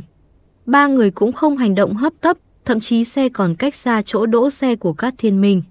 Sau đó, Cát Vũ ngồi khoanh chân trong xe và bắt đầu giao tiếp với giải cổ trùng, thông quy nó để quan sát động tĩnh xung quanh Cát Thiên Minh. Bên này, lại nói Cát Thiên Minh bước đi rất nhanh và chẳng mấy chốc đã đến chân núi Mai Hoa. Hôm nay, trên bầu trời phía trên hoa Mai Sơn xuất hiện một lớp tử khí mờ nhạt, sương mù dày đặc. Khi các Thiên Minh vừa đến chân núi đã cảm nhận được khí tràng bốn phía chuyển động, chắc chắn là có bố trí pháp trận. Một người cha có thể hy sinh tất cả vì con gái yêu, thậm chí cả mạng sống của mình. Dù biết phía trước chỉ có một con đường chết nhưng các Thiên Minh vẫn kiên định bước đi trên con đường dưới chân mình. Lúc này đang là mùa hoa mai nở rộ, khắp nơi đều là màu hoa mai rực rỡ, có đỏ, hồng, trắng. Trong không khí còn tỏa ra một mùi thơm nồng nàn. Nhưng lúc này các Thiên Minh cũng không có tâm tư thưởng ngoạn phong cảnh nơi đây, ngược lại ông cảm thấy trong ngọn núi hoa mai này có một cỗ khí tức lạnh lẽo nồng nặc. Không lâu sau, các Thiên Minh xuyên qua bụi hoa mai rậm rạp, đi tới lưng chừng núi. Khi ông đang đi, một mùi lạ đột nhiên sộc vào mũi, hình như là mùi thịt. Cảm giác như có ai đó đang hầm sườn. Ai lại đi nấu sườn trên núi vào lúc nửa đêm. Trong lòng các thiên minh tràn đầy nghi hoặc, ông đi theo mùi thịt kỳ dị kia, mò mẫm đi vào. Đi về phía trước mấy trăm mét, các thiên minh rất nhanh nhìn thấy trước mắt một màn vô cùng quỷ dị. Chỉ thấy ở phía trước có một cái vạc lớn, phía dưới đáy vạc, lửa đang cháy rất hừng hực, chính là nhánh cây của hoa mai. Trong vạc có làn xương trắng bốc khói, có vẻ như đang nấu cái gì đó, mùi thơm của thịt từ trong vạc tỏa ra. Trước vạc có một người đàn ông hói đầu, nói là hói, nhưng thực chất trên đầu có vài sợi tóc trắng lưa thưa. Ông ta mặc một bộ áo choàng giống như tu sĩ, trong tay cầm một cành cây đang khuấy thịt trong vạc. Các thiên minh rất tò mò nên tiến lại gần vài bước. Khi nhìn thấy thứ đang nấu trong nồi, ông không khỏi cảm thấy một cơn ớn lạnh chạy khắp cơ thể, vừa sợ hãi vừa tức giận. Bởi vì các thiên minh đột nhiên phát hiện trong vạc có một cái chân người đã được đun sôi đến đỏ bừng. Lão đầu chọc đã phát giác được các thiên minh tới gần, ngẩng đầu liếc nhìn ông, các thiên minh lại kinh hãi. Chỉ thấy trong đôi mắt của ông già hói trắng bệch có một chấm đen nhỏ nơi con người. Lão ta nhe răng cười với các thiên minh, trước đó cái đầu đã được đưa tới nhà ngươi, còn lại đều ở trong vạc này, đã nấu chín rồi. Nói xong lão già đầu chọc lấy ra một khối thịt trong nồi đưa cho các thiên minh, mùi vị vừa vặn, ngươi có muốn nếm thử hay không? Giây phút lão già đầu chọc ngẩng lên, các thiên minh liền cảm thấy lạnh sống lưng. Lão già này không phải con người, mà là yêu quái bị Nhật Bản phong ấn gần ngàn năm, gọi là thần dư. Yêu quái này mặc dù không lợi hại bằng thập đại ma đầu kia, nhưng thực lực cũng không sai biệt lắm. Mấy tên cả gan làm loạn kia, thậm chí đến cả loại vật này cũng thả ra, nhưng giờ lại xuất hiện ở hoa hạ. Nhìn thấy các thiên minh trợn mắt há hốc mồm, vừa sợ lại vừa giận, thần dư nhìn hết sức hài lòng, cười cười, lại nói, những món này đều là chuẩn bị cho ngươi, chẳng lẽ ngươi không vui sao? Ngươi, ngươi là thần dư, ngươi không phải đang bị phong ấn sao? Sao có thể xuất hiện ở chỗ này? Các thiên minh khó tin nói. Không ngờ, mảnh đất hoa hạ này vẫn có người biết tên tuổi thần dư, ta đã bị phong ấn hơn nghìn năm rồi. Mới chớp mắt mà đã lâu như vậy, rất lâu không ăn thịt. Nói xong, nước miếng thần dư liền theo khóe miệng chảy xuôi xuống. Nó nhìn về phía các thiên minh giống như là đang nhìn một bữa tiệc lớn phong phú. Lúc này, quỷ quái Phượng Di ẩn thân trong ngọc khí đột nhiên hiện thân ra, lơ lửng bên cạnh các thiên minh. Đó là một kẻ đáng sợ, Phượng Di hoảng sợ nói. Quỷ quái quy mô như Phượng Di cũng đối với quái vật trước mặt này tràn đầy sợ hãi, có thể thấy được nó là ghê gớm đến cỡ nào. Lão già đầu chọc này hình như là không nhìn thấy Phượng Di vậy, một bên vừa dùng gậy gỗ khuấy thức ăn, một bên vừa chảy nước miếng nói, chín rồi, thơm quá. Con gái của ta đâu? Các thiên minh trong nội tâm mặc dù rất sợ hãi, nhưng vẫn hỏi ra. Ta nói đang được nấu trong nồi, ngươi có tin không? Thần dư ngẩng đầu lên nhìn các thiên minh. Lời này vừa ra khỏi miệng, nỗi sợ trong lòng các thiên minh bay biến không còn chút gì, không cần biết nó nói thật hay không, đương nhiên cũng đã thành công chọc giận các thiên minh triệt để. Sau một khắc, thiên tùng vân kiếm được các thiên minh rút ra, không nói hai lời liền bổ lên người thần dư. Kiếm khí khủng bố xẹt qua mặt đất tạo thành một khe hở thật sâu, tiến về thần dư, thế nhung than dư vẫn đứng trước nồi thịt không hề nhúc nhích. Kiếm khí còn cách nồi thịt không đến một mét liền bị một lực lượng vô hình cản lại hóa thành hư vô. Như thế nào, ngươi muốn đập phá nồi của ta, thần dư ngẩng đầu lên nhìn các thiên minh. Ta muốn giết ngươi, các thiên minh giận dữ, thân hình nhoáng một cái, hai tay lại nâng thiên tùng vân kiếm lên lần nữa chém tới thần dư. Phượng Di lúc này cũng không nhàn rỗi, tóc đen bay múa đầy trời, bốn phương tám hướng phập phồng giống như thủy triều cuốn lấy thần dư. Thần dư vẫn không hề nhúc nhích, tùy ý hai người bọn họ xuất chiêu, chỉ cần những chiêu thức kia tới gần thần dư trong phạm vi một mét sẽ bị tan biến không còn sót lại gì. Thủ đoạn của loài người yếu ớt như vậy, chỉ dựa vào ngươi mà cũng muốn giết ta à? Cái kia thần dư nói xong, bất ngờ vung lên côn gỗ, một luồng sát khí lang liệt trôi nổi xung quanh, một sức mạnh cường hãn đánh về các thiên minh. Các thiên minh rút kiếm ngăn cản, lại bị lực lượng kinh khủng đánh bay ra ngoài, cả người rơi lên một nhánh cây hoa mai sau lưng, gốc cây lập tức gãy đổ. Lúc này, Cát Vũ ngồi trên xe thông qua giải cổ trùng quan sát hết thảy mọi chuyện đang xảy ra trên Mai Hoa Sơn. Giải cổ trùng chỉ là một loại sâu độc đạo hạnh rất thấp, đối người bình thường và người tu hành cũng được coi là sát khí. Nhưng với loại tồn tại khủng bố như thần dư này thì bị hù cho không dám lộ diện. Hơn nữa thần dư dường như cũng cảm thấy tồn tại của giải cổ trùng, thậm chí còn liếc về phía nó. Giải cổ trùng bị dọa run rẩy chỉ dám núp ở chỗ rất xa, quan sát hết thảy, hơn nữa cũng phát ra tín hiệu cầu cứu về cho Cát Vũ. Lão già đầu chọc này quá mạnh mẽ, Phượng Di và các thiên minh rõ ràng không địch lại. Cát Vũ hít sâu một hơi, mở mắt ra. Lúc này, Trung Cẩm Lượng và Hắc Tiểu Sắc vây ở cạnh hắn cơ hồ chăm miệng một lời nói, như thế nào rồi? Không được tốt lắm, Cát Vũ nói. Đến cùng là ai bắt cóc Trúc Tử? Hắc Tiểu Sắc hỏi. Ta cũng không biết, thông qua giải cổ trùng thấy được trên núi xuất hiện lão già chọc lão đang nấu thịt. Ta thấy chú út Hàn Huyên không có vài câu đã động thủ, rõ ràng chú út không phải là đối thủ của lão ta, hơn nữa hình như lão ta không phải là người, Cát Vũ giải thích. Đi thôi, chúng ta giết lên núi đi, giúp đỡ chú út, Hắc Tiểu Sắc nói.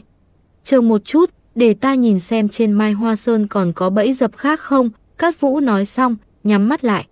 Sau đó, Cát Vũ điều khiển giải cổ trùng, định di chuyển một vòng trên Mai Hoa Sơn xem chung quanh có những người khác hay không. Thế nhưng kỳ quái là giải cổ trùng chỉ có thể nhìn thấy một chỗ của các thiên minh và lão già đầu chọc thôi, những nơi còn lại dù đã lăn đi lăn lại mấy vòng đều nhìn không tới. Cuối cùng, giải cổ trùng lại bay đến bên cạnh chú út, tiếp tục quan sát cuộc chiến. Lúc này, chú út đã thật sự nổi giận, trực tiếp thả đại chiêu, đem thiên tùng vân kiếm ném lên trời hóa thành một tay cự kiếm, từ trên trời giáng xuống chỗ đứng của thần dư. Cự kiếm còn chưa chạm đất liền tách ra tám thanh kiếm, cùng một lúc đâm xuống. Nhưng mà tám thanh kiếm kia vẫn như trước không chạm tới người thần dư, cách lão ta một đoạn sẽ tự động bị hóa giải. Chỉ là chủ kiếm Thiên Tùng Vân lại ầm ầm rơi xuống, thần dư rốt cục cũng nhảy ra, Thiên Tùng Vân kiếm cực lớn đã nện xuống nồi thịt, khiến nó chia năm xẻ bảy, nước sôi cuồn cuộn bắn tung tóe khắp nơi kèm theo rất nhiều thịt thả vương vãi. Thần dư hầm hầm nhìn các thiên minh, ngươi quật ngã nồi của ta, ta phải ăn thịt của ngươi. Nói xong, thân hình thần dư nhoáng một cái biến mất không thấy tăm hơi, sau một khắc lại xuất hiện ở bên người chú út, vừa vươn tay đã bắt được cổ các thiên minh nhấc lên khỏi mặt đất. Nói như thế nào thì tu vi chú út cũng cao hơn quỷ tiên cảnh, vậy mà dễ dàng bị thần dư bóp cổ. Mà lúc này, Phượng Di cũng bất chấp an nguy của mình, hóa thành sát khí màu đỏ tía, tông vào người thần dư. Thân hình thần dư rõ ràng chấn động, tướng mạo càng thêm hung ác, bắt đầu vỗ ngực Phượng Di lập tức văng ra ngoài. Nhưng mà, không đợi Phượng Di rơi xuống đất, một đôi tay đã đỡ được Phượng Di, yêu quái phương nào, dám khi dễ phu nhân ta. 3555 yêu dâu xanh Thần dư đang muốn đại khai sát giới giết các thiên minh, đột nhiên cảm giác sau lưng khác thường. Một khí tức cực kỳ khủng bố trống rỗng xuất hiện khiến thần dư hoảng sợ, không khỏi chậm rãi xoay người nhìn về hướng phát ra âm thanh. Bàn tay thần dư vừa rồi còn nắm cổ các thiên minh, sau khi nghe được tiếng nói đã ném các thiên minh ra ngoài, yêu khí cuồn cuộn bao bọc toàn thân, đang trong trạng thái phòng bị cực độ. Bởi vì thần dư cảm nhận được một loại uy hiếp chưa từng có. Khi thần dư xoay người lại, đã thấy một người kỳ quái, xác thực nói là một quỷ vật kỳ quái. Quỷ vật này mặc quan phục không biết của triều đại nào, trên đầu còn có quan tước. Trong tay còn đang ôm lấy quỷ quái vừa mới bay ra ngoài kia, cười tủm tỉm nhìn lão. Ngươi là người phương nào? Thần dư nghiêm mặt. Ta phát hiện đôi mắt của yêu quái nước ngoài nhà ngươi có vấn đề, ngươi sáng suốt vừa nhìn đã biết bổn quan không phải là người, mà là quỷ, mà còn là quỷ tiên từ trước đến nay chưa từng có. Quỷ vật kia cười tủm tỉm nhìn thần dư nói. Các thiên minh xem như nhặt được một cái mạng, xoay người đứng lên, nhặt lên thiên tùng vân kiếm, vội vàng tránh sang một bên. Giờ phút này y cũng rất mơ hồ, đột nhiên xuất hiện quỷ vật trên người tản ra hơi thở vô cùng đáng sợ y cũng không biết quỷ vật này xuất hiện từ bao giờ. Đặc biệt là, quỷ vật này lại đang ôm Phượng Di. Còn luôn miệng gọi là phu nhân. Con mẹ nó chuyện này là sao, vì sao mình không hề hay biết. Cho tới bây giờ cũng chưa từng nghe các vũ nói qua quỷ quái Phượng Di còn có một phu quân. Bất quá nhìn quỷ vật mặc quan phục này kiểu nào cũng giống yêu dâu xanh. Ôm Phượng Di đến nghiện rồi, một mực không chịu buông tay. Thế nhưng quỷ vật tu vi hùng hậu, nếu thật đứng về phía mình, sẽ khiến các thiên minh an tâm không ít. Nếu như hắn ta cùng phe với thần dư, thì coi như mình là đại la kim tiên cũng không sống nổi. Phượng Di cũng nhanh chóng phản ứng, vùng vẫy khỏi người quỷ vật nọ vừa xấu hổ vừa giận dữ nói, ngươi thả ta xuống. Làm sao vậy, là tư thế ôm ấp không đúng sao, nếu không thì đổi kiểu khác. Quỷ vật nhanh chóng đổi tay ôm Phượng Di, đem đầu Phượng áp sát vào mình, còn hướng về Phượng Di lộ ra một nụ cười nhẹ nhàng mà hắn ta tự cho là phong độ. Thần dư có chút chịu không nổi. Mịa, vậy mà dám ở trước mặt lão yêu quái khoe ân ái. Thật sự là không thể nhẫn nhịn, quả thực không coi ta ra gì mà. Phượng Di không thể dãy dụa khỏi tay quỷ tiên được, vùng vẫy một lát, liền bỏ cuộc, trực tiếp quay đầu đi, không muốn nhìn yêu dâu xanh này một chút nào. Có lẽ hắn ta thấy Phượng Di tức giận, yêu dâu xanh lúc này mới để Phượng Di xuống, cung kính thi lễ với nàng một cái, tiểu sinh vừa rồi thất lễ, mong rằng tiểu nương tử chớ trách ta. Các thiên minh cũng hơi cay con mắt rồi kiểu nào cũng thấy yêu dâu xanh này hệt như Tây Môn Khánh. Phượng Di lúc này mới quay lại nhìn về quỷ tiên, chừng mắt liếc hắn ta một cái nói, ngươi vì sao xuất hiện ở chỗ này. Toàn bộ thành kim lăng đều nằm trong mắt của ta, mọc ra thêm một ma tước ta cũng biết, huống chi là tiểu nương tử mà tiểu sinh mong nhớ ngày đêm đã tới. Ta đây nhất định phải đi ra gặp một lần, thế nào, lâu rồi không gặp, tiểu nương tử có nhớ ta không? Quỷ tiên cười tủm tìm nói. Phượng Di trực tiếp quay người không thèm để ý đến hắn, trong lòng oán thầm, thằng này quả thực ra mặt còn dày hơn hắc tiểu sắc. Thần dư nhìn thấy hai quỷ vật bọn họ liếc mắt đưa tình, cũng đã nhịn đủ rồi, tức giận nói, các ngươi có nhìn thấy ta hay không? Quỷ tiên lúc này mới kịp phản ứng, nhìn thần dư nói, đúng rồi, kém chút quên, ngươi là ai, từ đâu tới đây? Vì sao phải đến thành Kim Lăng làm sằng làm bậy, có bái lại bổn tiên trên đỉnh núi chưa? Ta là thần dư ở Đại Nhật Bản uy phong lẫm liệt, tên tuổi khiến cho người nghe sợ hãi mất mật, vậy mà ngươi không biết ta, thần dư càng thêm nổi giận. Đại Nhật Bản, đây là địa phương nào, bổn quan như thế nào chưa từng nghe qua, quỷ tiên vẻ mặt nghi hoặc. Ở triều đại các ngươi, có lẽ gọi nước Nhật, Phượng Di trả lời một câu. Quỷ tiên nghe nói, sắc mặt lúc này mới trầm xuống, chỉ về thần dư nói, lớn mật. Một bọn chuột nhát như nước Nhật cũng dám chạy đến hoa hạ càn rỡ, năm đó một đám giặc oa ở vùng duyên hải hoa hạ ta đốt giết cướp bóc khắp nơi. Làm sằng làm bậy, bây giờ vẫn dám chạy đến hoa hạ dương oai, ngươi cho rằng con dân hoa hạ là dễ ức hiếp chăng? Nếu như thích tướng quân còn sống, nhất định tấn công nước Nhật các ngươi đem bọn ngươi diệt trừ tận gốc. Các thiên minh một bên vẻ mặt xấu hổ, nghe xong quỷ tiên nói chuyện, đoán chừng là lão quỷ đại minh triều. Cát Vũ như trước đang thông qua giải cổ trùng quan sát bên này, nhìn thấy thời khắc nguy cấp, Cát Vũ lại càng hoảng sợ, cho rằng chú út khó giữ được mạng, không ngờ quỷ tiên Phương Thiên Nho thành Kim Lăng bất ngờ xuất hiện. Quỷ tiên, vị này chính là quỷ tiên chính thức, trạng thái tối cao của quỷ vật tu hành, cho dù địa tiên cũng không đặt vào mắt. Năm đó địa tiên cao đẳng cấp vô nhai tử chân nhân chính là mất mạng trong tay một quỷ tiên. Đủ để thấy, chính thức quỷ tiên là đáng sợ đến cỡ nào. Sự xuất hiện của hắn ta khiến cho Cát Vũ an tâm không ít. Ít nhất là chú út đã không còn lo lắng cho tính mạng.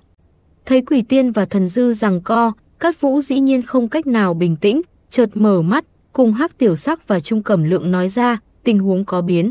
Chú út gặp một yêu vật đáng sợ, hình như tên là thần dư, cũng may là quỷ tiên thành kim lăng xuất hiện, kéo lại thần dư, bây giờ chúng ta tranh thủ thời gian qua đi hỗ trợ. Chờ một chút tiểu vũ, hiện tại Trúc Tử còn không biết ở đâu, nếu như lúc này chúng ta xuất hiện, Trúc Tử có thể bị nguy hiểm hay không? Hắc tiểu sắc lo lắng nói. Đối phương cũng không giữ quy củ, chúng ta còn có thể cùng chúng nói cái gì, bọn Nhật Bản này, coi như là không biết xấu hổ cũng không thể nào xuống tay với một bé con tay không tấc sắt chứ, Trung Cẩm Lượng nói. Ngươi đúng là đánh giá cao nhân tính của bọn Nhật Bản này rồi, bọn chúng chuyện gì cũng dám làm, Hắc Tiểu Sắc nói.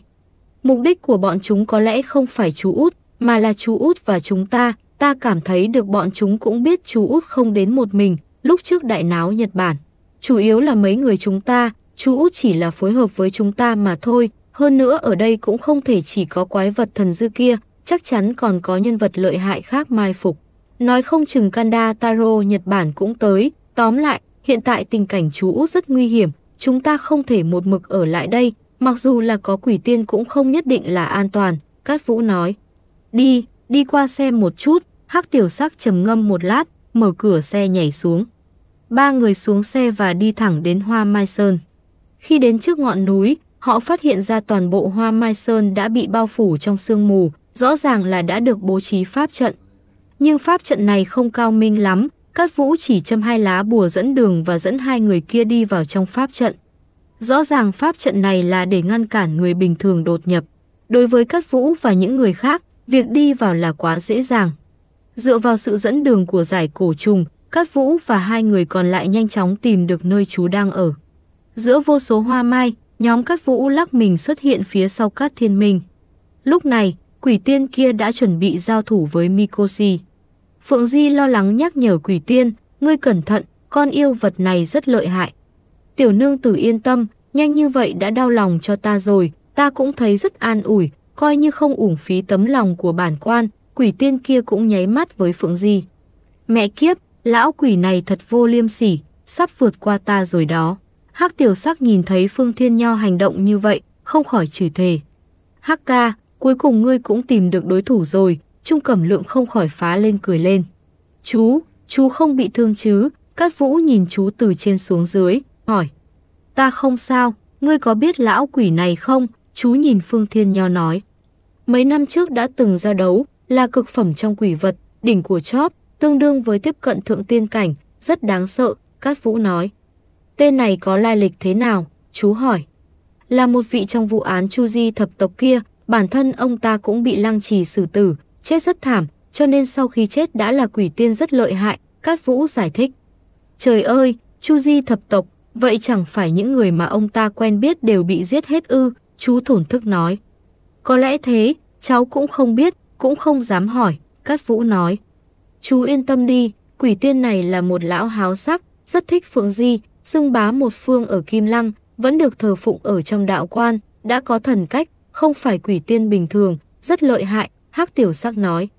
Đừng có ở chỗ của ta mà nói xấu ta được không hả? Bộ coi ta không tồn tại nữa hả? Quỷ tiên liếc mắt nhìn đám cát vũ rồi tức giận nói. Đúng lúc này, Mikoshi chợt đưa tay ra, vỗ MT trưởng về phía Phương Thiên Nho. Quỷ tiên cầm trong tay một vật gì đó, hẳn là vật mà các quan trong triều đình cầm khi vào triều thiên tử, thuận tay trưởng một nhát, đột nhiên một cơn gió mạnh thổi qua. Vô số hoa mai bay phấp phới, trông rất đẹp mắt, chẳng những hóa giải một trưởng này của Mikoshi mà còn có vô số hoa mai bay về phía lão ta. Vô số hoa mai tụ lại với nhau, tạo thành hình một thanh kiếm, hung hãn đánh vào Mikoshi. Không ngờ lão ta lại bị đánh văng ra xa 7-8 mét, thân mình bị va vào mấy gốc cây to khiến chúng bị gãy đổ. Mọi người không khỏi sừng sốt khi nhìn thấy cảnh tượng này. Không hổ là quỷ tiên. Mikoshi kia vừa bị văng ra ngoài thì khuôn mặt trở nên dữ tợn, vô cùng tức giận. Đột nhiên, hai tay lão ta run lên, như thể mặt đất dưới chân đang rung chuyển. Mọi người giật mình, ngơ ngác nhìn chung quanh, nhưng chỉ thấy tất cả những tảng đá lớn nhỏ trên mặt đất đều nổi lên. Những tảng đá lớn nặng hàng ngàn cân, những tảng đá nhỏ to bằng nắm tay đều bay lơ lửng trong không trung, mỗi viên đá đều tràn ngập yêu khí. Sau khi những tảng đá đó lơ lửng giữa không trung, chúng đột nhiên bất động. Sau đó, Mikoshi vung tay lên, lập tức những tảng đá bắn về phía Phương Thiên Nho. Phương Thiên Nho nhìn thấy cảnh này, ông ta thu hồi nụ cười giễu cợt trên mặt và bắt đầu trở nên nghiêm túc. Ông ta lại giơ thiên tử hốt trong tay lên và múa may hai bên trái phải, lại còn giống như kết một pháp quyết, những bông hoa mai còn chưa hoàn toàn rơi xuống đất, vẫn còn đang bay lơ lửng. Ông ta vừa đưa tay gian cả đám hoa mai trên cây ở trên ngọn núi đều đu đưa, tất cả hoa mai đều lìa cành, đều bay đến bên cạnh Phương Thiên Nho. Những bông hoa mai đó ngày càng tụ tập nhiều hơn, xoay quanh Phương Thiên Nho, tạo thành một bức tường hoa mai dày đặc. Trước khi những bông hoa mai hoàn toàn tụ lại, vô số tảng đá tràn ngập yêu khí kia đều đánh tới, đập vào những cánh hoa mai này. Vừa gặp nhau, đá đều vỡ vụn bay đi, hoa mai cũng đều rơi rụng. Mà thân hình của Phương Thiên Nho cũng nhoáng lên, đồng thời lui về phía sau vài bước. Trong cuộc chiến sinh tử này, rõ ràng Phương Thiên Nho không giành được lợi thế nào. Cát Vũ nhìn Mikoshi tỏa ra yêu khí dày đặc, bèn hỏi Cát Thiên Minh, chú, đây là yêu quái gì, thật sự rất lợi hại. Thứ này tên là Mikoshi, nó là một con yêu quái xuất hiện ở Nhật Bản hơn 1.000 năm trước. Truyền thuyết kể rằng con yêu quái này thích ăn thịt người sống. Khi nó xuất hiện, ít nhất 1.000 người đã chết trong tay nó, tất cả đều bị nó ăn tươi nuốt sống. Lúc đó giới tu hành Nhật Bản đã liên hợp lại, sau khi hai cao thủ địa tiên cảnh chết mới từ từ thu phục nó, phong ấn nó. Không ngờ bây giờ lại thấy nó xuất hiện ở địa giới của Hoa Hạ, các thiên minh giải thích. Chết tiệt, thứ này đáng sợ như vậy, khó trách thật lợi hại, hắc tiểu sắc thở dài. Muốn thả thứ này ra, chỉ có nhân vật của chính phủ Nhật Bản ra mặt mới làm được, có phải là Kanda giở trò không? Cát Vũ hỏi. Có thể, khi các cao thủ Nhật Bản đến, chúng ta đã xử lý hết một đợt rồi, có thể bên đó không còn cao thủ nào nữa nên chúng đã thả những con yêu quái mạnh mẽ như vậy để đối phó với chúng ta. Đây không phải là Nhật Bản mà lại có ma vật như vậy xuất hiện, cho dù có gây ra chuyện lớn cỡ nào thì Nhật Bản cũng không có tổn thất gì, Hắc Tiểu Sắc nói. Đám Nhật này thật thất đức, vì đối phó với chúng ta mà dám thả yêu quái hại người này ra, Trung Cẩm Lượng mắng. Ngươi cho rằng quỷ tiên Phương Thiên Nho xuất hiện chỉ vì Phượng Di. Ông ta đang hưởng thụ hương khói của dân chúng ở Kim Lăng, nếu có rắc rối, nhất định ông ta sẽ ra mặt bảo hộ dân chúng một phương. Nếu yêu vật này rời khỏi Hoa Mai Sơn, không biết sẽ có bao nhiêu người dân vô tội bị chết. Cho dù là quỷ vật nhưng khi đã đạt tới cảnh giới nhất định thì cũng phải gánh vác trách nhiệm tương ứng, Cát Vũ nói. Phương Thiên Nho có thể là đối thủ của Mikoshi này không? Trung Cẩm Lượng lo lắng hỏi. Khó nói lắm, dù sao chắc chắn chúng ta không phải là đối thủ của lão ta, Cát Vũ nói. Lúc này, Mikoshi và Phương Thiên Nho lại giao chiến. Trong cơn tức giận, Mikoshi chộp lấy hư không, trong tay lão ta xuất hiện hai cây gậy bằng xương, cơ thể lóe lên. Xuất hiện bên cạnh Phương Thiên Nho, hai cây gậy trông như một cái xương đùi của con người, tà khí cuồn cuộn, ném tới gáy của Phương Thiên Nho. Phương Thiên Nho thận trọng di chuyển từng bước một, thiên tử hốt trong tay của ông ta cũng không dễ đối phó, lập tức chiến đấu với Mikoshi kia. Mikoshi và quỷ tiên Phương Thiên Nho đang chém giết lẫn nhau, có thể so với cuộc chiến của thần tiên, đất rung núi chuyển. Lúc này, nhóm Cát Vũ cũng không vội giúp đỡ, họ thấy Phương Thiên Nho chưa rơi vào thế hạ phong, đang chiến đấu với Mikoshi rất hăng. Điều đáng nói là mỗi bước đi của Phương Thiên Nho đều có khí chất tao nhã, khi chiến đấu rất hoa lệ và đẹp mắt. Đặc biệt là khi ông ta dùng hoa mai trên toàn bộ hoa mai sơn làm vũ khí, vô số hoa mai bay khắp nơi khiến người ta hoa cả mắt. Cát Vũ nhìn chú mình và nói, chú, có tin tức gì của Trúc Tử không? Không có, ta vừa đến đây đã thấy tên Mikoshi này, bây giờ vẫn chưa biết Trúc Tử ở đâu, Cát Thiên Minh bất lực nói.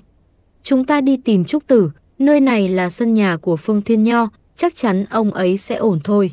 Cháu nghĩ trên Hoa Mai Sơn không chỉ có một mình yêu vật Mikoshi, có thể tên Taro Kanda cũng ở trên ngọn núi này. Chúng ta hãy đi tìm gã thôi, Cát Vũ nói. Được rồi, chúng ta cứ để quỷ tiên này đánh nhau ở đây đi, nếu như đánh không lại thì chạy trốn cũng không thành vấn đề, Hắc Tiểu Sắc nói. Tiểu tử kia, đừng nói nhảm, sao bản quan lại đánh không lại tên yêu vật Nhật Bản này? Thế chẳng phải là quá mất mặt cho hoa hạ sao? Các ngươi cứ chờ xem, chỉ trong vòng một nén nhang, ta sẽ đánh cho tên Mikoshi này vãi đái ra quần. Phương Thiên Nho vừa chiến đấu với Mikoshi, vừa không quên nghe lén đám cát vũ nói chuyện. Hắc tiểu sắc không ngờ nói nhỏ như vậy mà quỷ tiên vẫn có thể nghe được lời hắn ta nói. Ngài cứ thông thả mà đánh, bọn ta còn có việc, đi trước đây. Hắc tiểu sắc vẫy tay với quỷ tiên, mọi người chuẩn bị rời đi. Lúc này Cát Vũ liếc nhìn Phượng Di, nói, đi thôi. Ánh mắt của Phượng Di dán chặt vào Phương Thiên Nho, nghe Cát Vũ gọi, nó quay lại nhìn hắn, các ngươi đi trước đi, ta ở đây canh chừng, có thể sẽ giúp được gì đó. Cát Vũ gật đầu, cũng không kêu Phượng Di đi theo mình.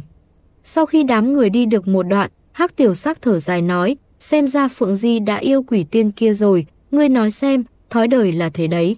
Một người sống sờ sờ như ta đây lại không có bạn gái, thế mà một con quỷ lại có người yêu, đúng là không có đạo lý mà.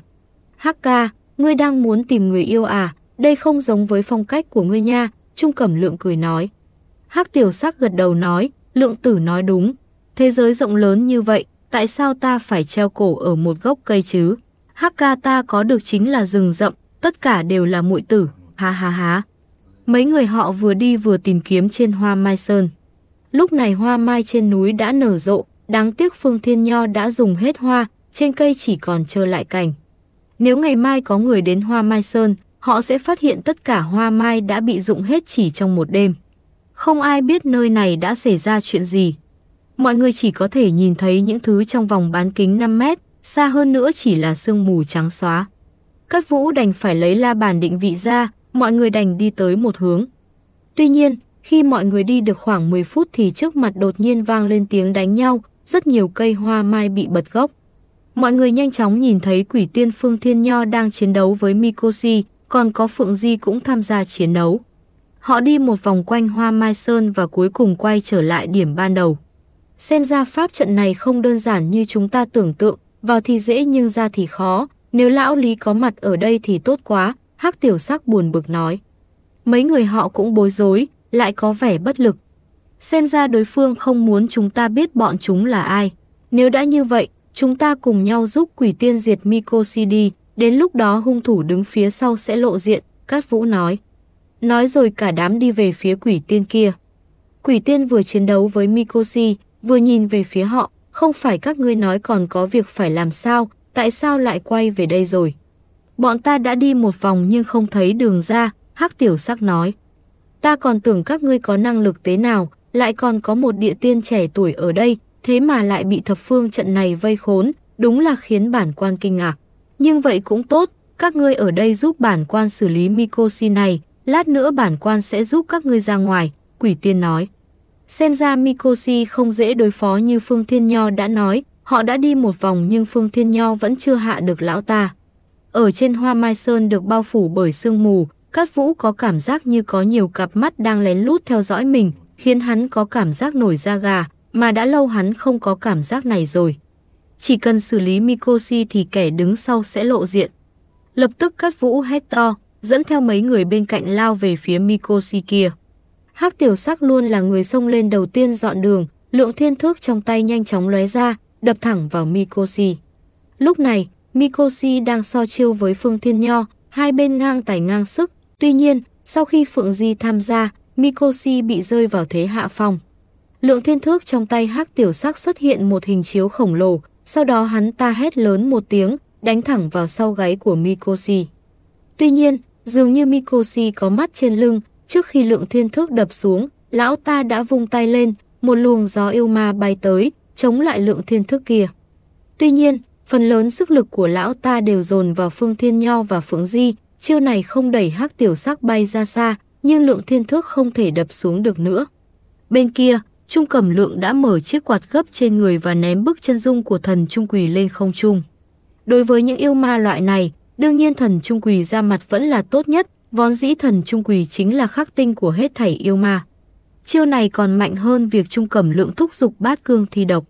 Sau khi bức chân dung của thần Trung Quỳ bay ra ngoài, một luồng khói trắng từ bức chân dung bay ra, sau đó một hình chiếu khổng lồ từ bức chân dung phóng ra và đứng sau lưng Trung Cẩm Lượng.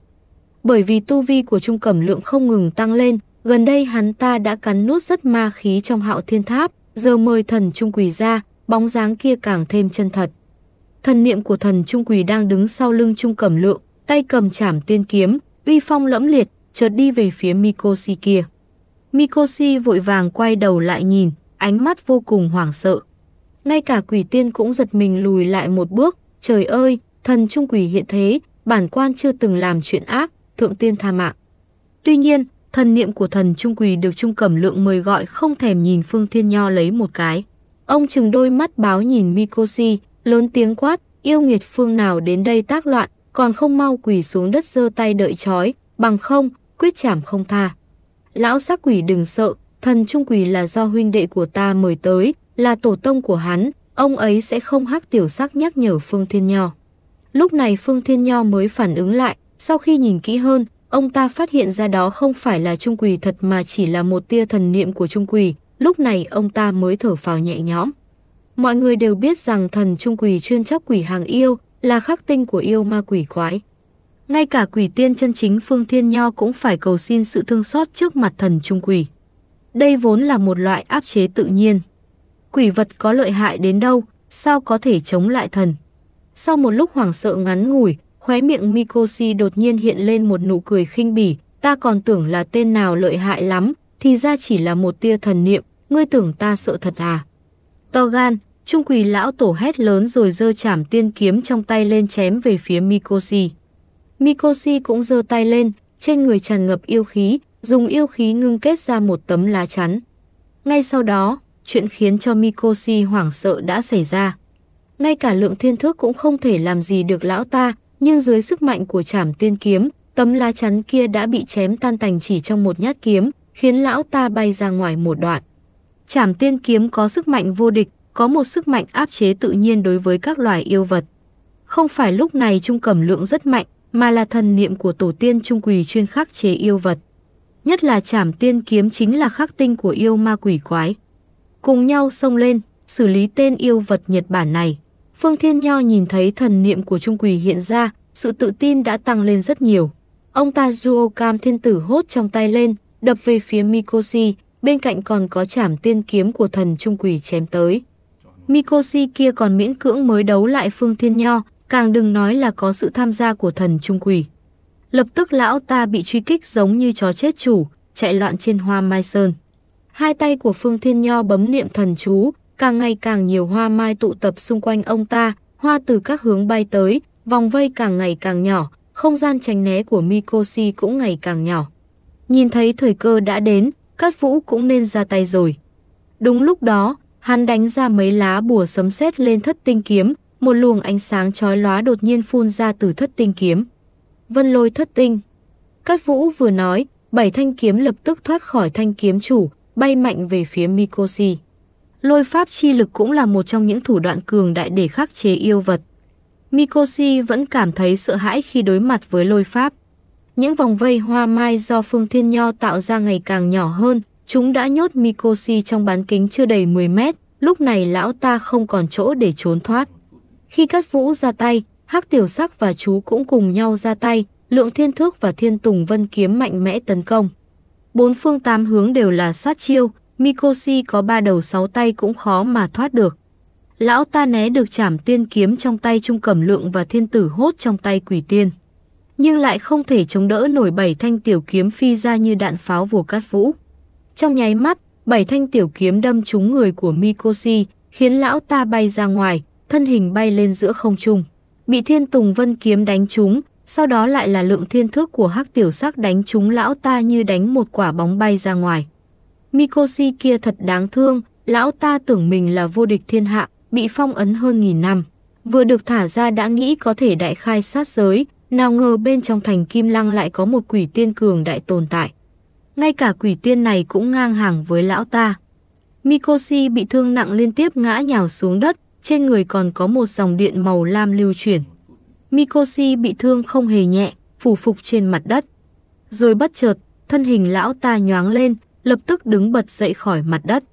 Sao Cát Vũ có thể bỏ lỡ cơ hội giết lão ta, chuông đông hoàng trong tay lập tức bay ra, từ trên trời giáng xuống, bao trùm lấy Mikoshi.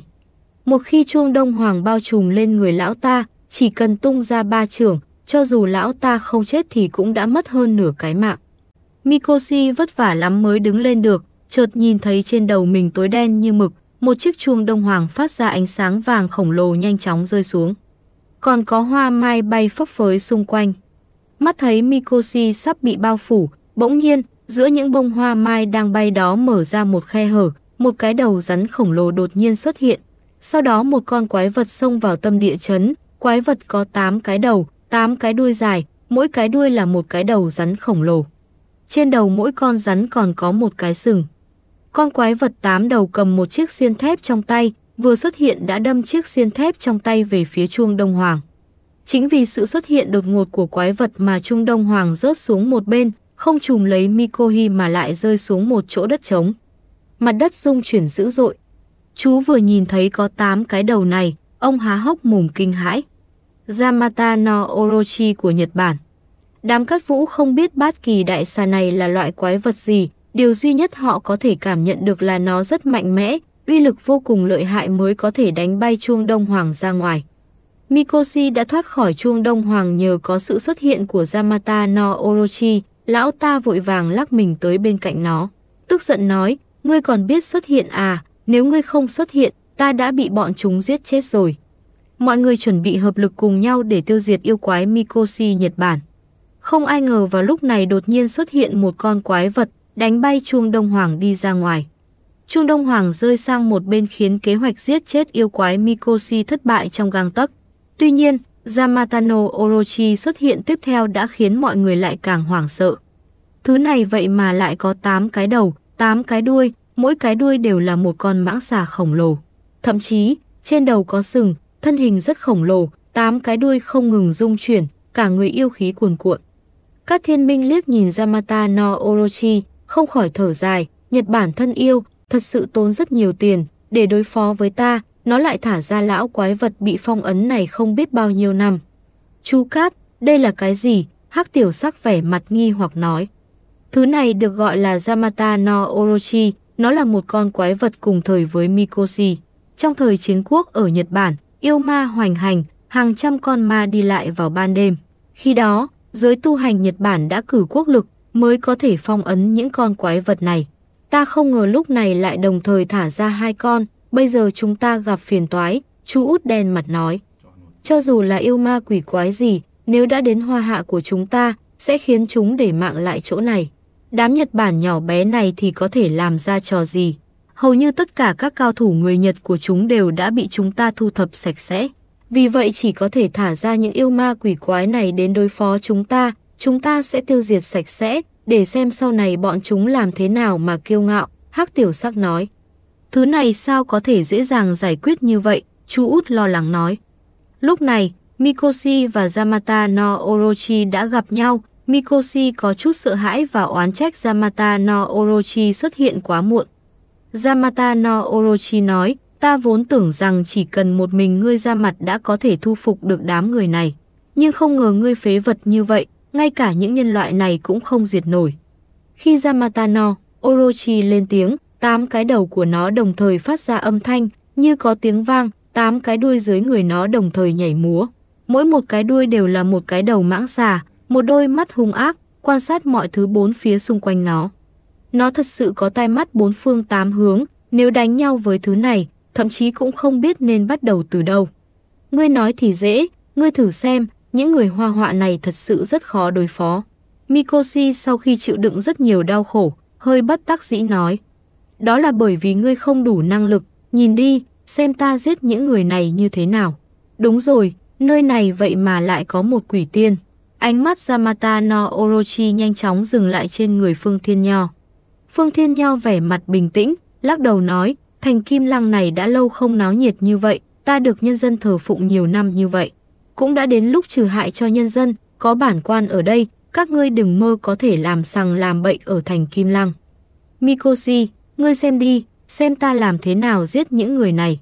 Yamata no Orochi lắc mạnh tám cái đuôi, đột nhiên ra tay, tám đầu mãng xà khổng lồ chia nhau lao về phía mọi người mà tấn công bọn họ, há to miệng đầy máu. Nhìn thấy tình hình này, mọi người lần lượt rút lui. Hắc tiểu sắc nhìn thấy tình huống này, vừa rút lui vừa nói với chú út, chú, Yamata no Orochi này có điểm yếu không, không có cách nào đánh được thứ này. Ta cũng không biết, đây là lần đầu tiên ta nhìn thấy vật này, hình như có tin đồn Yamata no Orochi thích uống rượu, các thiên minh vừa nói vừa lui ra ngoài. Nó thích uống rượu, cùng chúng ta đánh nhau có liên quan gì? Ý là chúng ta cho nó uống rượu, nó sẽ không đánh chúng ta nữa sao? Hắc tiểu sắc buồn bực nói. Ta chỉ nghe nói nó rất thích uống rượu thôi, các thiên minh lại nói thêm. Ta có rượu ở đây, Trung Cẩm Lượng nói xong, lấy ra một chai rượu trắng từ chiếc quạt gấp của mình, mở nắp và đập vào đầu một con mãng xà của Yamata no Orochi. Một cái mãng xà của Yamata no Orochi lập tức há miệng lớn, nuốt chai rượu trong một ngụm, còn cẩn thận nếm thử, chắc chắn là hương vị không tồi. Lượng tử, ngươi thật là lãng phí của trời, ngươi cho loại quái vật này ăn mau đài tốt như vậy, hắc tiểu sắc tức giận nói. Sau khi uống xong chai rượu trắng này, đôi mắt mãng mã trở nên trong trẻo, có chút choáng váng, nhìn nó như thế này, quả thực không tốt chút nào. Tuy nhiên, những cái đầu rắn khác lại rất tỉnh táo. Yamata no Orochi vung tám đầu mãng xà, vừa ra sức cắn vừa quét ngang, khiến cả đỉnh núi bị nó làm cho thành một mảng hỗn loạn, không ai dám đến gần. Nhìn thấy tình huống này, sắc mặt cát vũ tối sầm, đột nhiên vỗ vào tụ linh tháp, phóng ra cây ô đầu quỷ thủ. Cây ô đầu quỷ thủ đã nuốt chửng năng lượng của Miyamoto Taro, đạo hạnh tăng lên rất nhiều. Yamata no Orochi có rất nhiều đầu và đuôi, mặc dù uy lực rất lớn, nhưng mạnh mẽ hành động của nó phải chịu một số hạn chế nhất định. Lúc này, sử dụng cây ô đầu quỷ thủ là thời điểm tốt nhất. Cây ô đầu quỷ thủ lặng lẽ xuất hiện không một tiếng động, nhanh chóng biến thành một cái cây không dễ thấy trong số rất nhiều cây hoa mai trên núi. Sau khi cây ô đầu quỷ thủ xuất hiện, mọi chuyện nhanh chóng xoay chuyển. Ngay khi Yamata no Orochi đang thể hiện sự hung dữ của mình thì đột nhiên nhiều dây leo từ mặt đất xuất hiện, quấn quanh Yamata no Orochi. Dây leo mọc lên từ mặt đất dày và to, sau khi quấn mấy cái đầu mãng xà của Yamata no Orochi, nhất thời muốn thoát ra cũng không dễ dàng gì. Cơ hội đã đến. Quỷ tiên, ta giao Mikoshi đó cho ngươi, ngươi cuốn lấy nó, chúng ta sẽ đối phó Yamata no Orochi này, Cát Vũ gọi Phương Thiên Nho nói một tiếng. Được, cứ giao Mikoshi cho ta, Phương Thiên Nho nói xong, quay đầu nhìn Phượng Di bên cạnh, nịnh nọt nói, tiểu cô nương, tới đây giúp ta, chúng ta cùng nhau xử Mikoshi. Vẻ mặt của Phượng Di vẫn lạnh lùng, nhưng nó vẫn đi theo nàng quỷ tiên Phương Thiên Nho để đối phó với Mikoshi. Nhìn thấy Yamata no Orochi bị vướng vào dây leo của cây ô đầu quỷ thủ, Cát Vũ lớn tiếng gọi, mọi người hãy cùng nhau chặt đầu con mãng xà của nó. Nhanh lên, Yamata no Orochi này quá mạnh mẽ, ta không thể khống chế nó được lâu, cây ô đầu quỷ thủ nói với Cát Vũ. Hắc tiểu sắc là người đầu tiên lao lên, đập lượng thiên thước trong tay về phía một đầu mãng xà đang bị mắc kẹt.